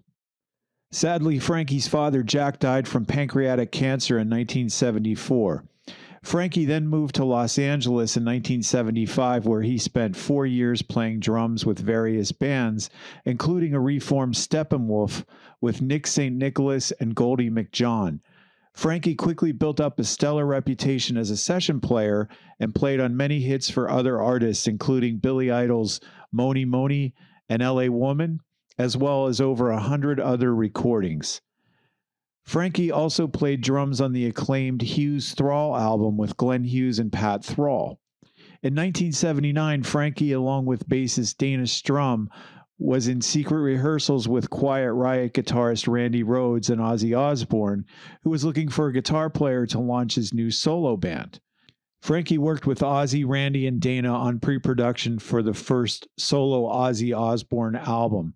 Originally, they were going to record the record in LA, but Jet Records had spent so much money flying Ozzy between London, LA, and New York looking for musicians, and they were really unsure of what Ozzy's future was ultimately going to be. They decided to just record in England because it would be less expensive and they would only pay to fly one other band member over. Obviously, that guy was Randy Rhoads. So, unfortunately, Frankie's involvement with Ozzy was short lived. In 1980, Frankie joined forces with Kevin Dubrow and formed Dubrow, which had a revolving door of musicians before settling with former Snow guitarist Carlos Cavazo and bassist Chuck Wright. When Rudy Sarzo stepped in to replace Chuck Wright, Dubrow changed the name of the group to Quiet Riot. This was the same name of the band that Dubrow, Sarzo, and Randy Rhoads had used prior to Sarzo and Rhoads leaving to join Ozzy Osbourne's band. After signing with Pasha Records in September 1982, Frankie and Quiet Riot found success with the album Mental Health, which was released six months after signing their deal with Pasha Records. In November 1983, only eight months after its release, Mental Health reached the number one spot on the Billboard 200 charts, replacing the police's Synchronicity, making it the first heavy metal album to go number one on the charts. Mental Health eventually sold over 10 million copies worldwide and helped usher in the decade of heavy metal hair rock. By the time Condition Critical was released in July 1984, tensions began to slowly break Quiet Riot apart. But Frankie held on through lineup changes and a diminishing fan base, mostly caused by Kevin Dubrow's erratic behavior. By 1989, Quiet Riot disbanded after touring in support of their self titled debut album, which was released in October 1988. Around the time of recording their self titled album, Frankie also played drums for the band Wasp on their Headless Children album. After Quiet Riot disbanded again, he rejoined Wasp to tour in support of the album. In 1990, Frankie was called in by Faster Pussycat to replace Mark Michaels, who was fired from the band during their tour in support of their 1989 album Wake Me When It's Over. Frankie's mother, Martha, died after an eight year battle with breast cancer on November 14, 1990. After regrouping from this devastating loss, Frankie formed a band called Heavy Bones with guitarist Gary Hoey. They released one album in 1992 before disbanding. In 1993, Frankie rejoined Quiet Riot after Bobby Rondinelli left the band to join Black Sabbath. In 1994, Frankie also took over as the band's manager, overseeing the band's business decisions. After three albums and more lineup changes, Quiet Riot disbanded again in 2003. Over their career, Quiet Riot had a number of hit singles, including Party All Night, Twilight Hotel, The Wild and the Young, Bang Your Head, Mental Health, Mama, We're All Crazy Now, and Come On Feel the Noise. Frankie married his first wife, Karen, in 1994. On February 17, 1997, his daughter Ashley was born. On April 14, 2009, Karen died from heart failure at the age of 40. Once again, Frankie and Kevin Dubrow reformed Quiet Riot in October 2004 with bassist Chuck Wright and new guitarist Alex Grossi. They released one album with that lineup titled Rehab in 2006 before the untimely death of Dubrow in November 2007. Frankie announced the dissolving of Quiet Riot on January 14, 2008. In September 2010, Frankie, with the blessing of Kevin Dubrow's family, reformed Quiet Riot. Frankie continued to carry on the legacy of Quiet Riot through 2018. On November 11, 2015, Frankie married his second wife, Regina Russell Banali, who produced and directed a documentary about Quiet Riot called Quiet Riot. Well, now you're here, there's no way back. In October 2019, Frankie revealed that he was diagnosed with stage 4 pancreatic cancer. Frankie fought ferociously to battle this disease. However, he sadly passed on August 20th, 2020, at the age of 68. I am so grateful to have had the opportunity to meet Frankie and to be able to tell him how much he influenced me as a young drummer. We talked several times and bonded over our love of drums, John Bonham, and vintage drums and gear. He was a very gracious, humble, and super knowledgeable person. Frankie was a guest and a friend of ours here at Around the Kit, and we miss him and his presence. Thank you, Frankie, for your incredible inspiration and friendship and for sharing your amazing gifts and talents with us. You have touched so many lives, and we will continue to honor you and your legacy. Rest in peace, Frankie. We miss you.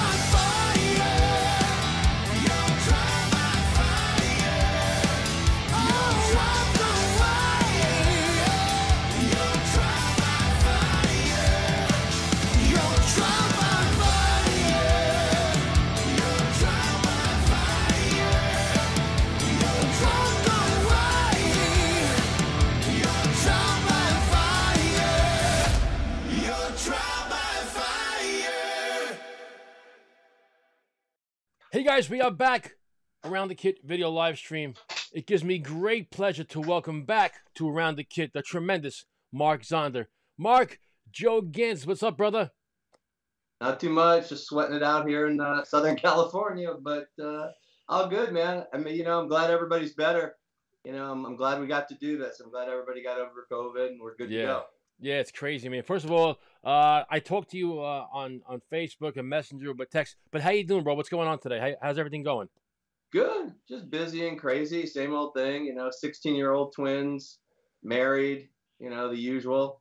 10 pound Yorkie. You know, it's just never ending, man. Never ending. Um, we've had some great conversations over the years, and today I want to focus on this this tremendous album that y- you've shared with me uh, behind the scenes. Uh, but and I love that um, A through Z uh, and uh, the self titled album A through Z, doing great. Uh, and it means anything is possible. I love that whole meaning and the concept of everything um, on the charts. It's just kicking ass. Talk to me about and I I want to start with with you. You were doing this a long time. Uh, my first recollection of you comes back to Fates Warning. We, we talked about that. One of my favorite bands in the '80s. Uh, 35, 36 years later, you're still growing strong, bro. My first question to you is 64 year old Mark Zonder still kicking ass, bro, and taking names and, and, and creating great progressive metal. Where does this all come into play with this project and everything going on with you? Well, the steroids and the doping that I got from Lance Armstrong, it's, paying off. No, um, I've always, you know, this is just kind of what I've done since I was seven. Yeah. Um, and again, you know, that same feeling, you know, every time I walk into the studio, every time I think about it, I'm still sitting in the middle of the night working out patterns in my head and with my hands while I'm sleeping. It, it just kind of is what it is. Um, and again, you know, as you know, the more and more you learn and go, the more you realize what you don't know and how it, the door keeps opening wider. It doesn't get smaller, it gets wider because the possibilities are infinite. So it's just a matter of, um, I, I just love to do it, you know. This one was a little, I mean, this is kind of the same thing I tried to do in 2007 with Slavior, where, you know, take the bull by the horns and just kind of do it. I mean, obviously Deep Purple's not calling, Marillion's not calling, so if I want to do something, I kind of got to do it myself. And that's what this really came down to. It's like, you got to do it, put your money where your mouth is, and go for it, or, or basically shut up, one or the other. Do you find that Mark Zonder, you work best when it's your own project?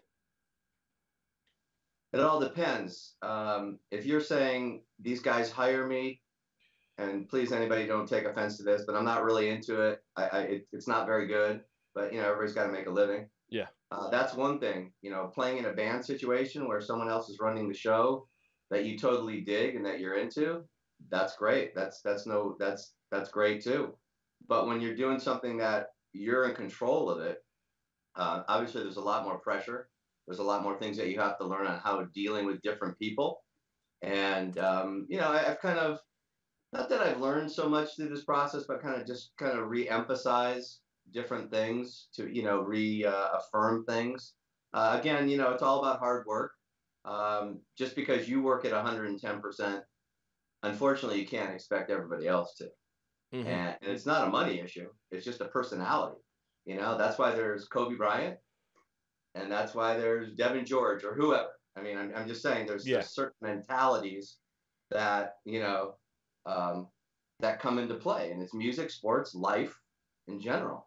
And it's one thing when you're in a band and someone else is running the show, let's say, and you just do your thing. You okay? I'm playing the drums. I'm doing my drum stuff. I'm giving it 120 percent.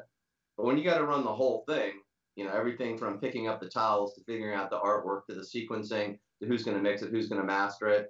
You know, how how are you going to pay these guys, even though you're not getting paid, to make sure that they feel like it's worth it to them.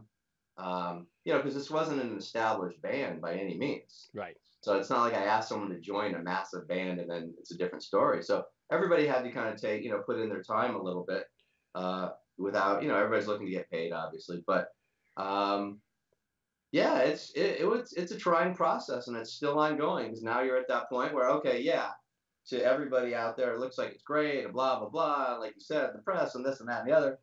But still, you got the daily grind with the label. It's like, okay, now what are we doing? This is really cool. But I'm thinking three months from now. I'm thinking two months from now. I'm not thinking to sit here and, and have a drink and go, wow, that was really cool. You know, it's it's just it just it's ongoing. That's kind of what I'm doing every day, whether it's playing the drums and writing new material, or planning out what we're doing and trying to do you know a video for every song. How are we going to pull that off financially? Um, so yeah, it's just business. You know, it really turns into a business at that point. I use the word autonomy, full autonomy, and everything we do. I like to have that sometimes in life, and I think you're the same way in many ways. You, uh, not that we're control freaks, but this is your baby, uh, your project. Is having full autonomy. Uh, is it good, and could it be too much at times? Well, it's not the that kind of uh, what you're talking about. I'm not looking at the bass player and going, okay, play E, play D, play C. That's not it. My whole philosophy from the beginning was find the best people that you can find and let them do what they're going to do. Okay. Right. Someone has to drive the bus. Someone has to get the record deal. Someone has to find the singer. You know, all those little things. You can't have like five guys like ants just running around trying to do things. It just doesn't work. Right. You know that that that's like mixing by committee. That just doesn't work. Um, so no, it was just a matter of letting them do what they want to do. Very, very little when it came to the music. It was like, hey man, I, I think four times is is enough. We don't need to go eight. Hey, how about this idea? When it comes to musical, we were just throwing music around, so that was fine. Um, but there is just kind of a pressure because not that everybody expects something, but there are decisions to be made. You know, uh, like the album cover. You know, I had 10 guys send stuff in, and we weren't doing the Vikings cut the heads off and wandering through the desert and a really dark album cover and all that crap. We weren't doing that. So I just called Hugh Syme, who I've known for years, who, you know, has a resume, you know, about as long as it gets, um, and wanted to work with him, and it just kind of rolled out. And, you know, the album cover, is it standard for everybody? No, but it's not supposed to be. It's supposed to jump. It's supposed to be different. It's supposed to draw attention. You know, again, you find the best people that you can find and let them do what they do. You know, the same thing when it came down to mixing and and mastering with Simone. It was like, yeah, we went back forth a few times. Hey, can you change this a little bit? But he knew where we were going. He got it. You know, um, so you just find those people that you that that work. You know, and just let them do what they do. I wasn't sitting here critiquing and well, you know, uh, you know, you know, but there's certain business aspects and certain things about running a band. You're not going to sit there with five guys and sequence a record. You know, everybody's going to have a yeah. completely different thing. And these are the things technically at the end of the day that really don't matter. I mean, they don't really matter. I've never heard anybody say, "Hey, man, I really loved your record, man, but that sequencing, I don't know about that." You know, Yeah, sometimes yeah. fans get so over overblown into looking into the littlest things that at the end of the day, like I said to my kids, and I usually say it in an English accent, but I'm not going to do that now. But does it really matter? Does it really matter? No, it doesn't. Doesn't. take me into the writing process because I, I I love the album. Probably got to pick a favorite song. I, I like Stranded a lot. I, I just think it's it's it's a it's a different kind of groove. I, I really like it. Um, but there's different sounds on here. Um, a lot of different time changes. How does one like yourself, a world class drummer and musician and writer, how do we start this process on this album? Where does it come from? And are you happy with how everything came into fruition? Oh, absolutely. Um, this was kind of done the same thing with you know my band Slavior. I sit around and just record grooves. Some crazy, some kind of crazy, some simple, whatever the case may be. You know, always lock into a tempo, and that's how they start. I sent different ideas. You know, Rise Again, that whole Yeah. thing that I'm playing on the electronic kit with with the pads and the acoustic kit. That was the first song that we ever wrote, and that was based on that whole intro groove. Because again, as a drummer, you know it's a lot easier for people to write to kind of a. It's not crazy because the groove is right there, but it, it sounds crazy. Um, than me trying to jam that into someone else's song. So you start you start writing like that. Okay, we have the tempo. Okay, it's 104. Okay, well I, I hear this going to another part. I hear it more like a halftime power ballad. So I would send out different other grooves to create. And and Viv, the keyboard player who I was basically writing most of the stuff with, would come back with his own stuff, with his own part, but it would be in tempo, and then I'd create a drum part, and it just went from there. It's it's exciting just you telling us that, and and and, and imagining, you know. When writing these grooves, even this level of your of your life and everything you've done up to this career, are you sitting there as Mark Zonder, or do you ever do this and say, you know what, I got this little halftime let me play it like so and so and so and so, so and so. Because nothing wrong with that. We we've all borrowed stuff from others. Yeah. Is that ever come into your play, or you just really want to focus on creating your own stuff? You know, I'm going to probably curse myself here, but it's been a very long time that I sat down at the drum kit and went, man, I'm bored and I don't know what to do. I mean, this morning, I this morning I sit down and I'm playing this kind of kind of simple riff. It's got kind of that jumpy kick pattern, and it's got an offbeat right hand, and that's all cool. But then I start moving that off hand between the bell and the closed hat over here. Okay, you know, and then Yeah. bring in the bell of the cymbal. So it's a, it's it's never ending, and and and no, it just it just keeps going and keeps going. I, on this record, it was like I pulled out everything. I've got the electronics. The beginning of Stranded, Yeah. I actually play on the little Yamaha kit over here. I made a little stereo file. There you go. Yeah. Live, I'll be able to play it, no problem. I'll use my D, you know, DTX pad, and I'll be able to play all this live. But I really wanted to bring the electronics in. Um, that's something that I've always done, and not a lot of guys really do it in this kind of music and do it where they're playing it with the kit. I'm not talking about just getting up and turning around playing electronic kit. That's a Right. different story. Yeah.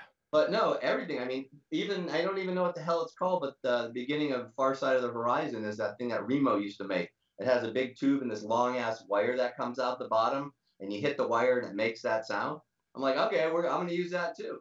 Another thing, I don't know if you really saw, but I got heavy into the percussion. It was, you know, I was overdone tambourines, shakers, um, cabasa. Uh, I was just, I was looking for the groove because of, you know, I kind of reference back when you listen to Toto, as, as great as Porcaro was, obviously, he always had a, a percussion guy there, you know, and that percussion guy just kind of put that little, little edge on it, and it just really made it groove. So I kind of stole that that one from there, and just tried to make it groove as much as possible.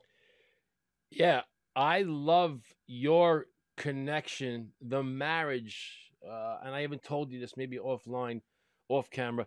Uh, your your your your patterns with the hi hat and ride together. uh, It's it's it, it it's so beautiful. Uh, talk to me about stuff like that. Uh, about about the thought process, getting deep into those kind of parts. Um, I forgot what song it was. Maybe it, it, it, it was the main hit. Uh, you're doing the the hi hat and ride uh, back and forth. What's the single? Uh, I'm sorry again. Are you talking about Trial by Fire? Is it I in don't that? think- I, I don't think it's in that. I, I do play that a couple times. I know I know what you're talking about. I f- all that really is is all about the groove because i mean i do i used to do a thing in my clinic and i'd play like the the straight rock groove from living after midnight you know Yeah. boom ka boom boom ba boom ka and i'd be playing the hi-hat on, on one two three and four but then all of a sudden i say hey check this out and i'd slip it to the offbeat and all of a sudden the hi-hat's playing and and all of a sudden you- you're like you're not in tower of power land but right. you're in kind of like funk land, but it's Yeah. the same. It's the same damn thing. So I use that same philosophy with my hands going all over. I was taught um, by a couple teachers, you know, that I that I study with, especially a couple guys with the Afro-Cuban stuff, and um, actually uh, a gentleman named Craig Yamick, who was like a, basically a Dave Garibaldi disciple. And and I went through Dave's book stuff, but just learning the independence, just learning and never being afraid to try stuff. There's so many. If okay, there's 11 songs on that record, but believe me, there's like 22 different song variants that never made it in the respect of let's try it this way. No, let's push it that way. I'm not that guy. And that's why people ask about soloing. I'm not really the big solo guy. It's like I try to get what I do into the songs, and I spend hours refining and listening back and going, ah, it's a little too cluttered. Give it a little bit more air, and like really break it down. I sit and go, okay, how's this going to sound in front of speakers? You know, why would I hit two crashes on that side when I can hit one there, hit one here, and then come back to the floor tom? So it's like a total process. It really just comes down to I think when number one you're into it, number two you just spend the time. It's really about the hours to develop things. You know, can I play double kick at 220 beats per minute? Probably not. I'd probably stroke out. But do I want to? Do I need to? Right, right. You know, I'm looking at you know using what I have and incorporating and taking as far as I can take it. Yeah, and guys, we're talking to the tremendous Mark Zonder, always so kind to me over the years, and I appreciate his time. I love the mix of this and the sound, and I think I spoke to you about it. How another song, uh, it's panned left and right. How it's done so beautifully. Um, I forgot what song that was again. It's a, it's a, I apologize. It was pan burf, perfect, and but it was percussion stuff. That's the stuff that I know for me as drummers, after playing 40 years, I could appreciate more. Hmm. Do, you, do you find that musicians uh, uh, around you can always be truthful? And do you always want them to be truthful? You know, I always wanted to quote, okay, be truthful. You, okay, that's the way they feel. Right. Okay.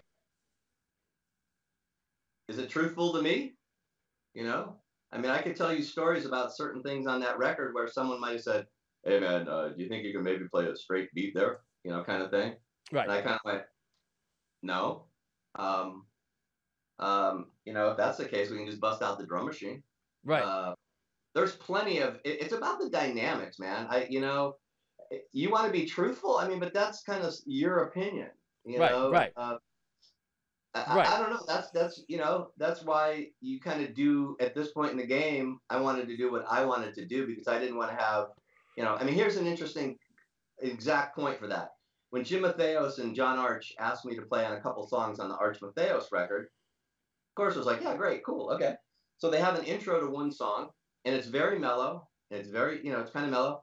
And I sit down and I do my electronic thing to like no end. And I'm thinking, okay, even if they don't like it, I, I'm coming up with something totally happening. This will show up somewhere, trust me.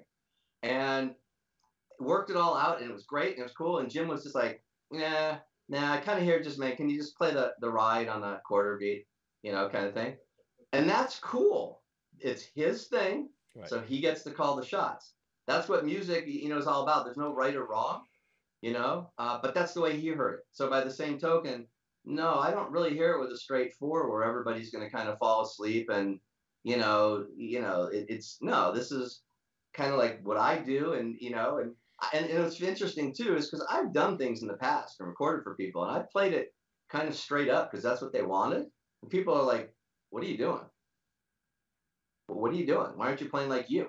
I go, "Oh, oh, so you didn't want the straight stuff." So, no, I just at this point in the game, unless someone, I, you know, again, if anybody takes offense to it, I apologize in advance.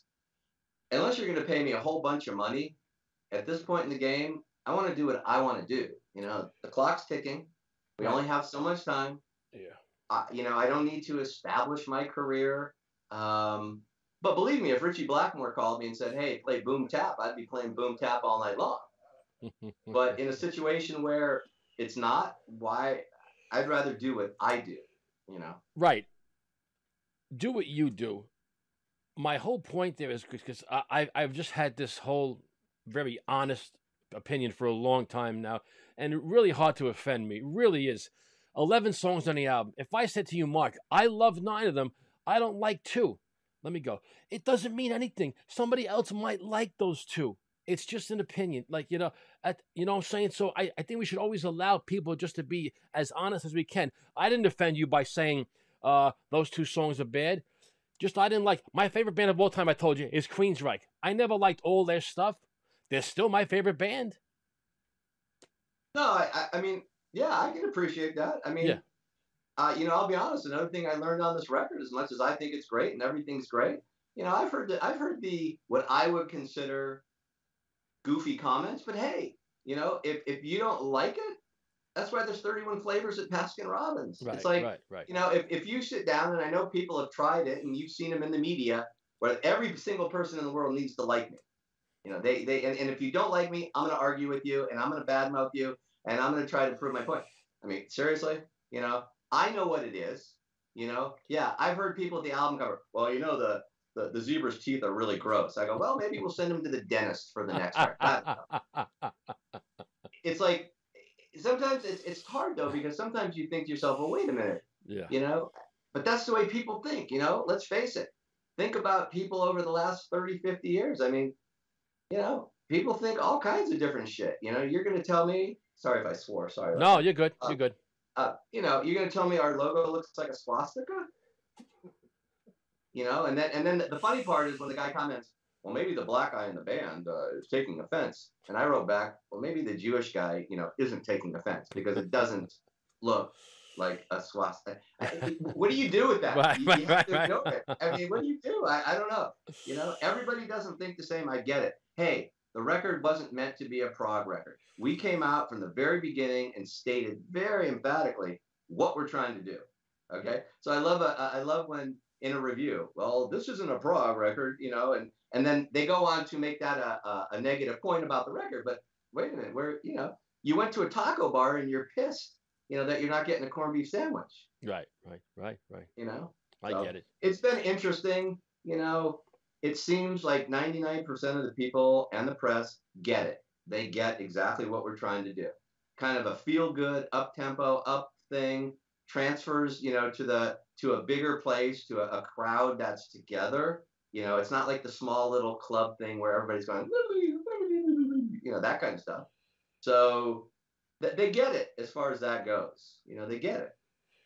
Talk to me about the whole cast of characters on this album and uh, how all of them came into play.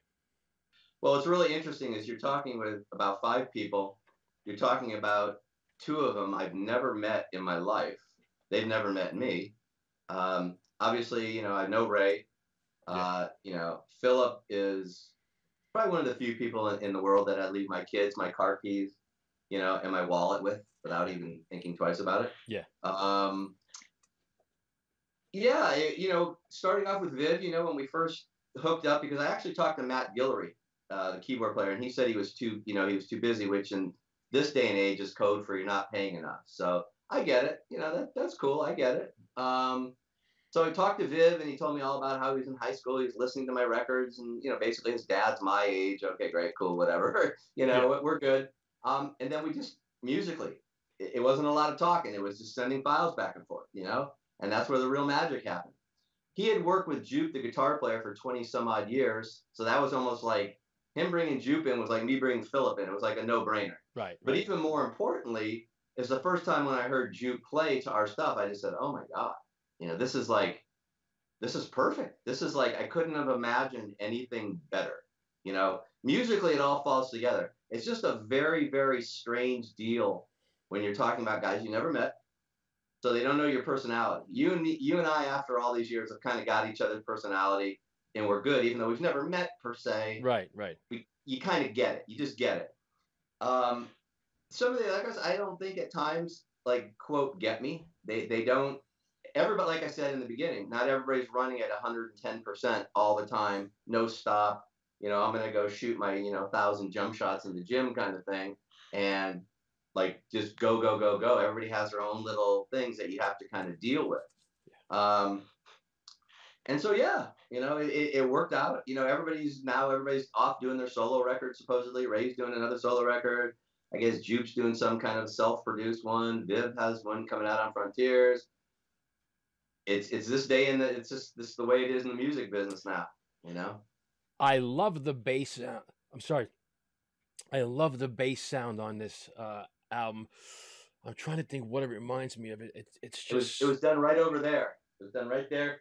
through Oh. that Summit preamp right there. it's a great it's a great sound, man. And and uh, I thought it was mixed so so perfectly at times. Uh, I, I, mean the connection, and then I mean Ray's voice. I mean what what do you say about Ray's voice? I think it, it was a perfect compliment for uh, everything that you did, and uh, I'm a big fan of it. I, that's you know some stuff I grew up with. You know the Queensryche stuff and uh, bands like um, Crimson Glory. You know going back to that kind of stuff. Uh, this this whole you know you know Fates Warning sound, but what now? You know, like, you said before, the album is great. Uh, what's the the the main recipe? You know, for the future of, of this project. Well, that's what I was going to ask you because I have no freaking idea whatsoever. Um, that's kind of the tough one, you know, because this day and age, I mean, we're looking into the live thing. That's difficult because you have all the bands from 21 that were blown out are playing now. So we're kind of looking toward next year. Uh, then you've got, you know, we're with a great label, but we're not with Atlantic Records. And Right, this isn't right. Bon Jovi.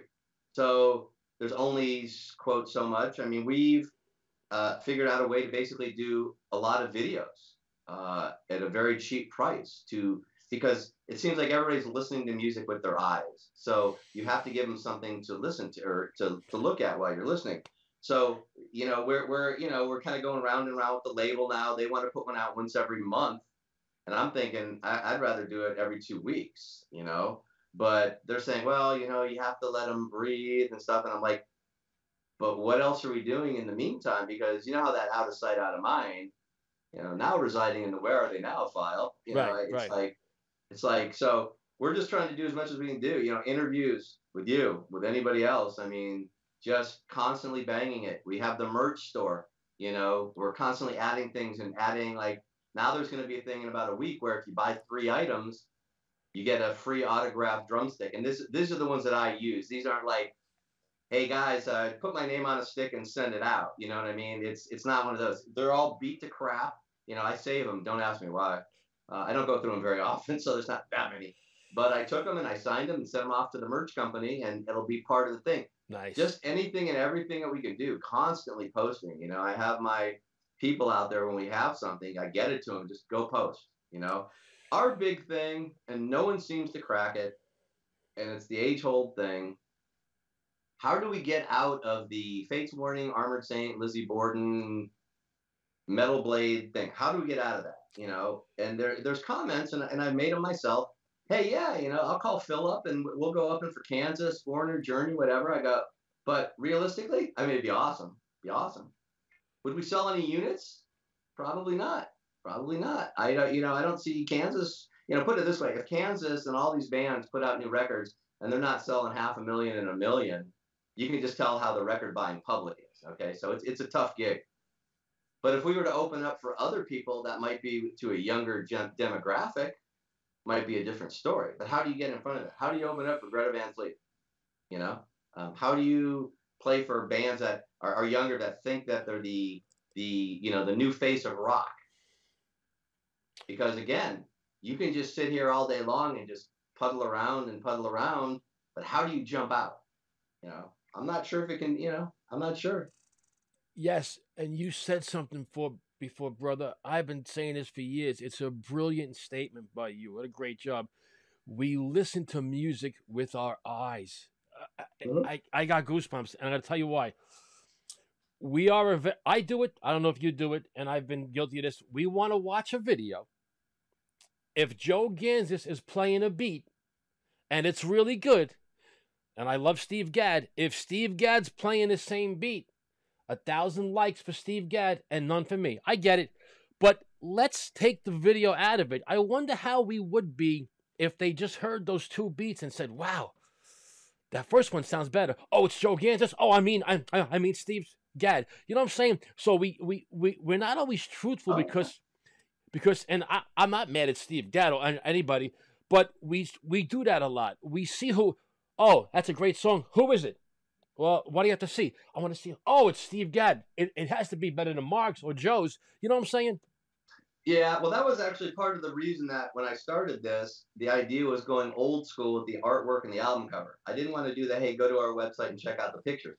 I wanted to see and have people experience with the vinyl. I mean, you can do a CD too, but with vinyl where you sit there, like the old days, you're listening to that record and you're looking at that zebra and then you're flipping it over and you're seeing all the artwork that you signed did yeah. to go that way. It was a complete old school kind of thing instead of this modern art and hey, go to our website and you know that kind of thing. And I understand why bands do that. It's all economics, man. It's all money. That's all it is.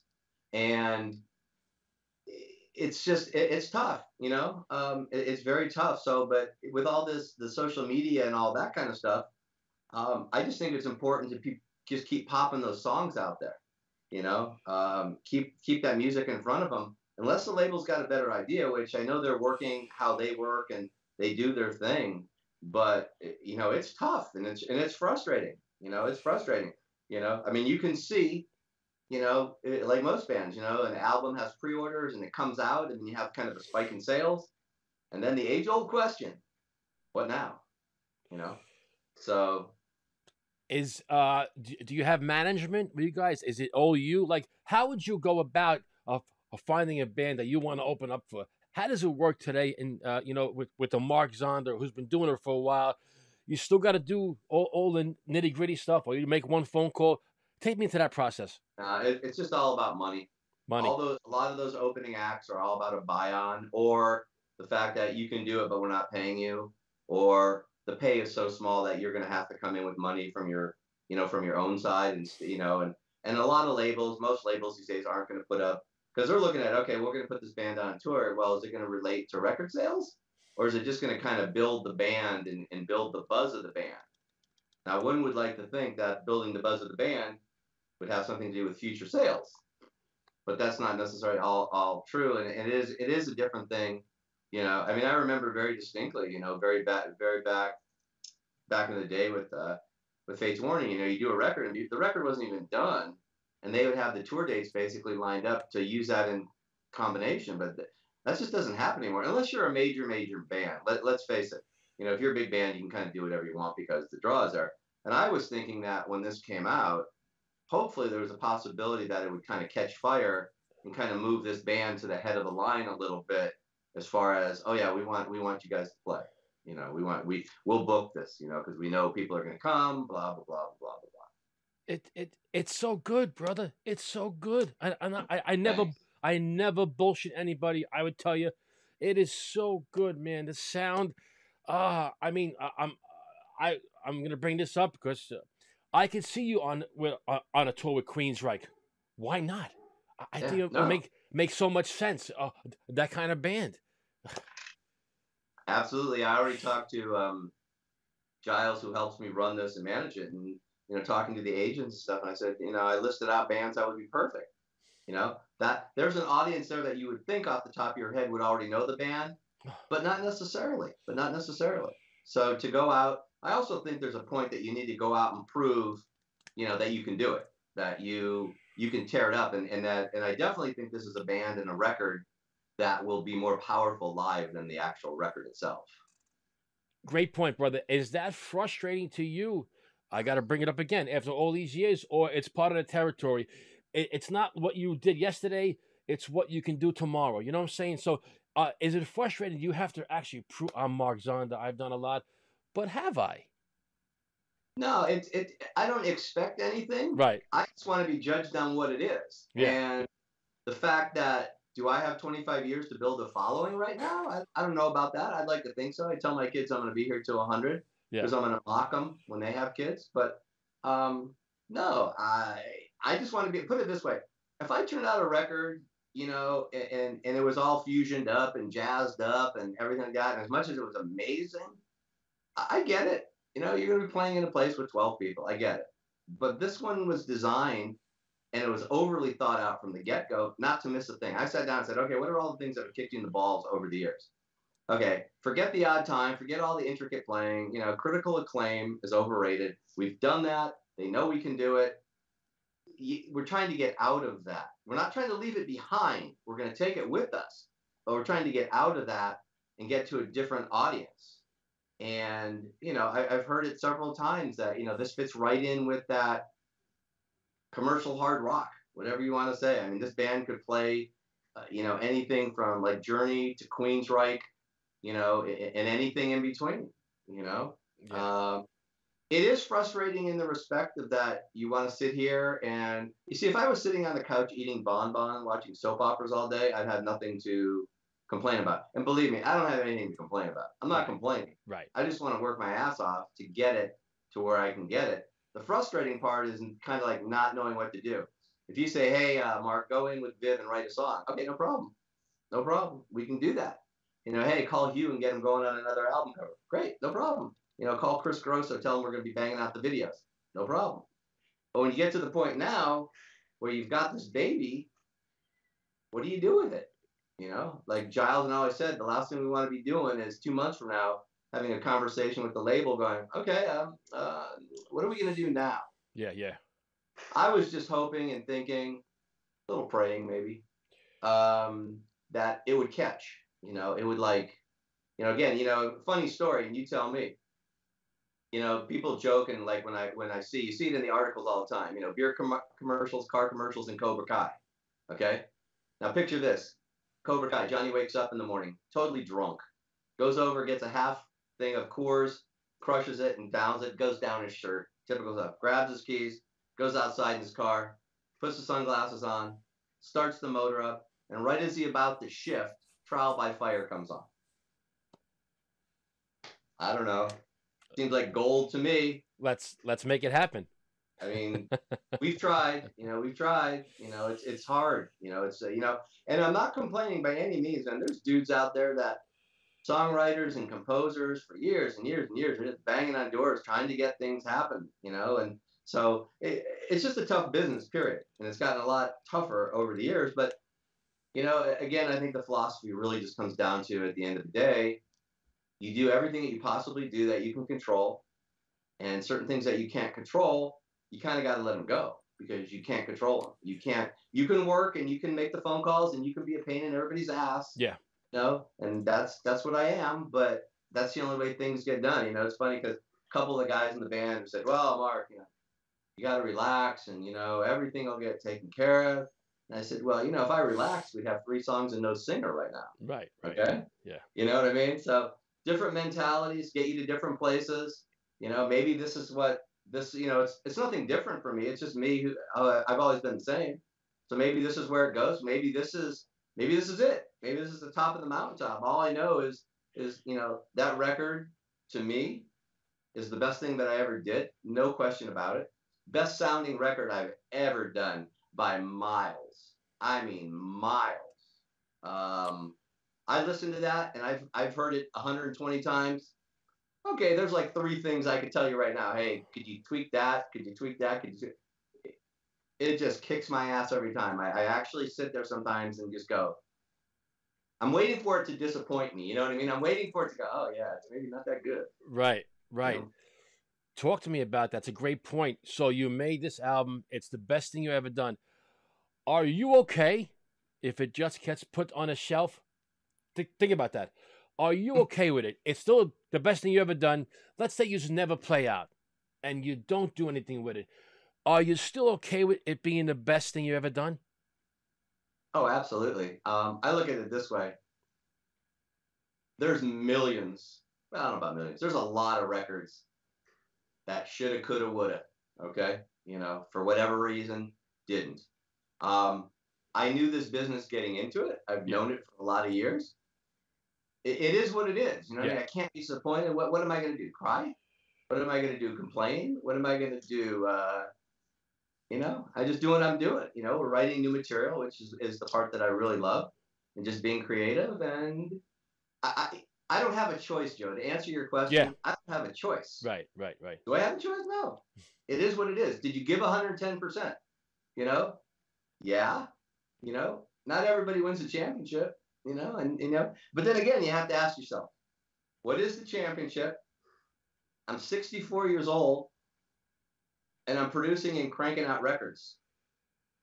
Yeah. There's a lot worse things going yeah. on, man. Yeah, sure. There's a lot worse, you know. My kids are healthy, you know. I mean, what am I, you know? No, I, I can't complain. I got to just keep pushing. I got to keep pushing. Plus the the Dodgers are kicking ass. There you go.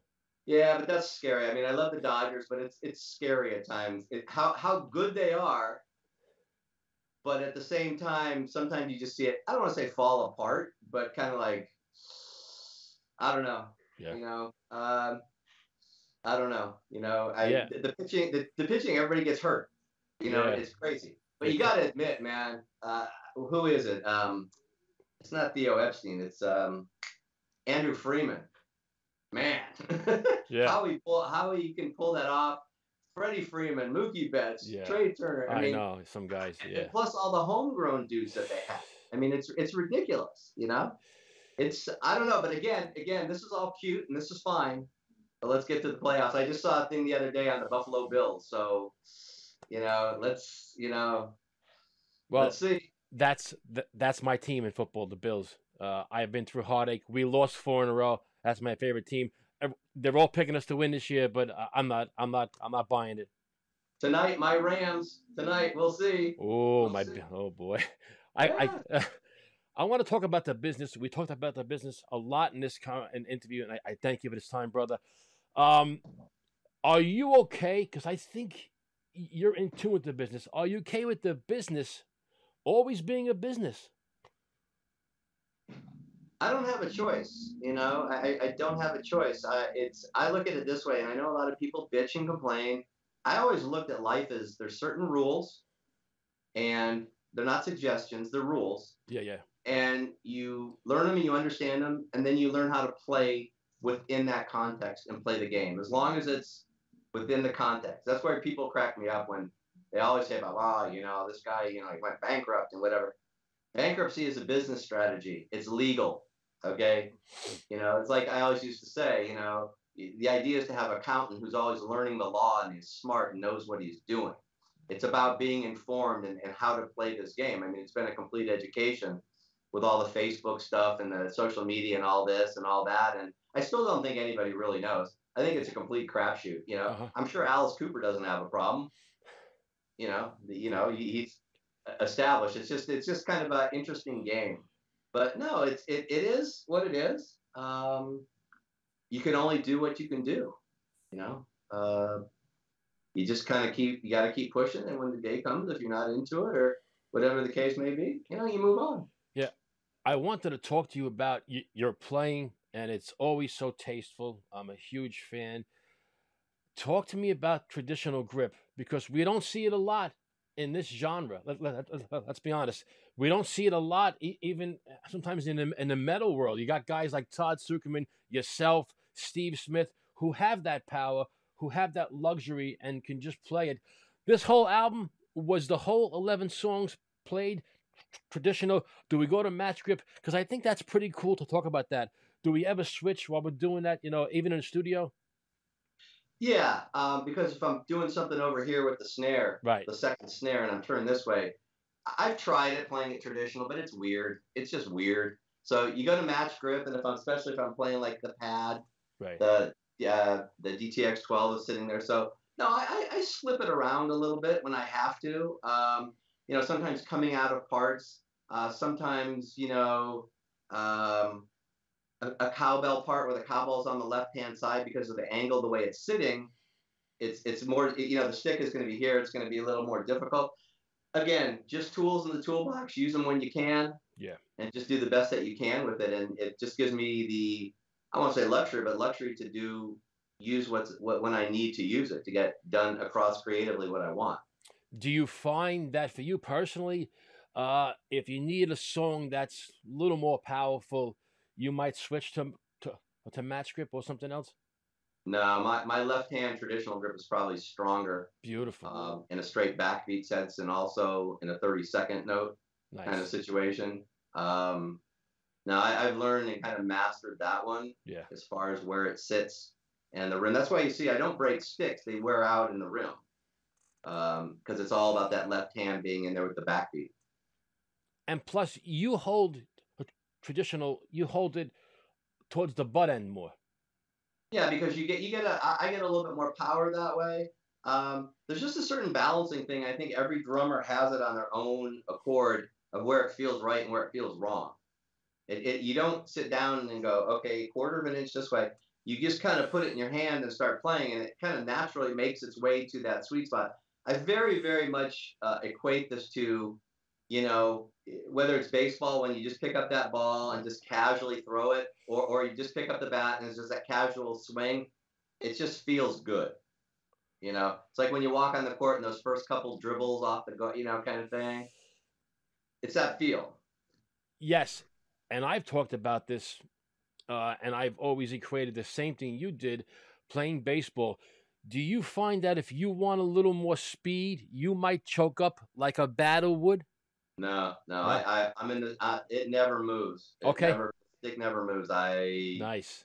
No, I just I've never done that. I, I I've heard about that, you know, and I've seen different things, but to be honest with you, probably if it gets to a point like that, I'll figure out another riff to play, you know, or uh, Yeah, I'll figure yeah. out a way how I can introduce it. I spend a lot of time, and I'm sure a lot of others drummers do, or, or maybe they don't, but I'm really breaking stuff down when I'm playing and making things the easiest I can. And how do I get out of this fill up? I'm going to hit two kicks, well, then I got to come in this way or that way, or, you know, different things like that. So sometimes I'm not so concerned about just driving a riff home. It's like just being creative and making it flow. It's got to feel good. I don't mind doing things, and I was doing it this morning that were awkward for the first five or ten minutes or whatever. You know, it's kind of awkward, and but then you, the more and more you play it, and you just keep playing it, and then it gets kind of in your head. Um, but I won't sit there for three days to try to play something ridiculous. You know, there's no point. So the album's out. Uh, I seen it on on on some charts. It was doing good.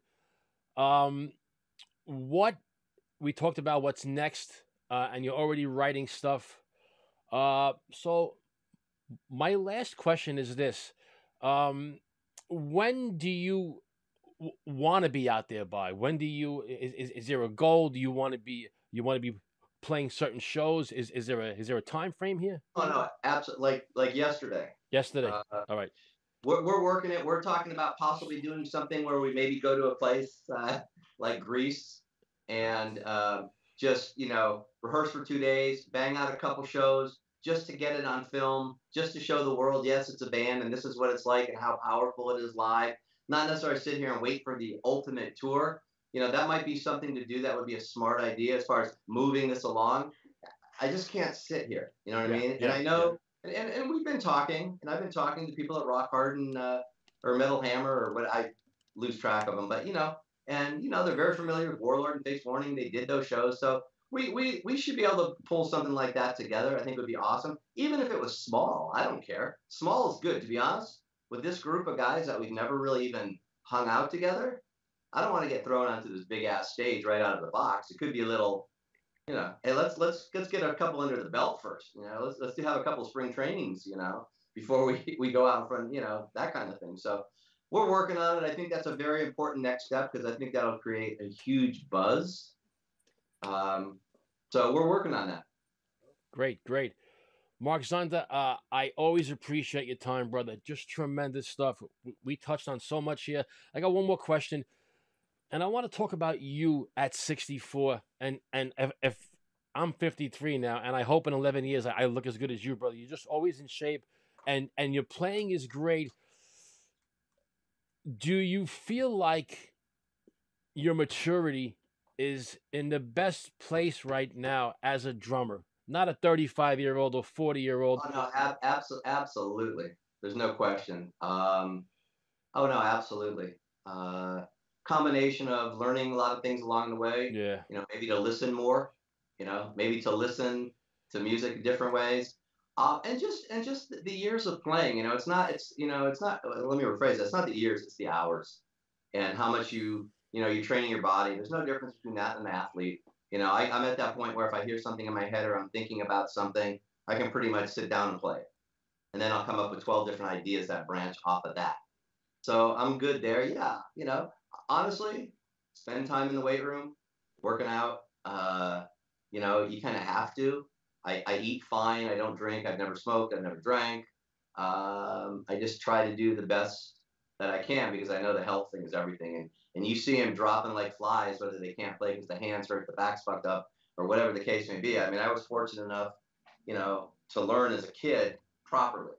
You know, knock on wood here again, I'm going to curse myself, but I've never had a problem playing like physically. So, you know, it's just a matter of taking care of everything. I think you really have to take care of yourself, uh, you know, mentally and physically. Uh, it's very important. Life is good. Life is good, brother. Life is good. We're above ground, right? We're good.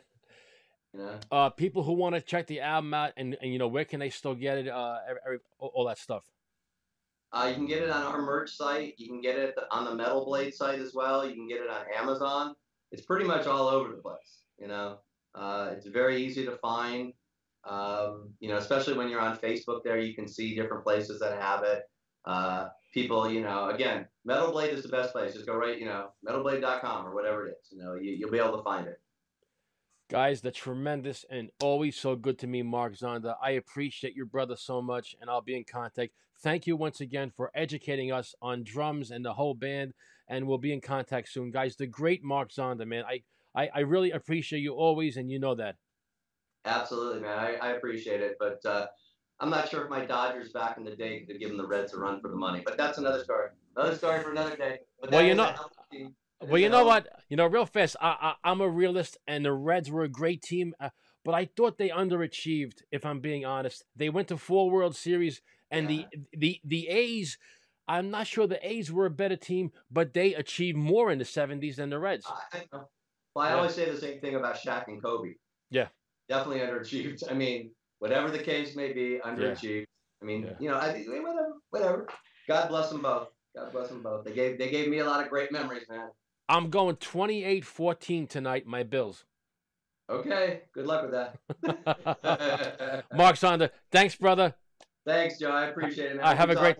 All right, man, have a great day. You too. Take care. Ah, great stuff. Guys, tremendous stuff. Uh, uh, always love his thought process and uh, his honesty. Once again, we say thank you to the great Mark Zonder.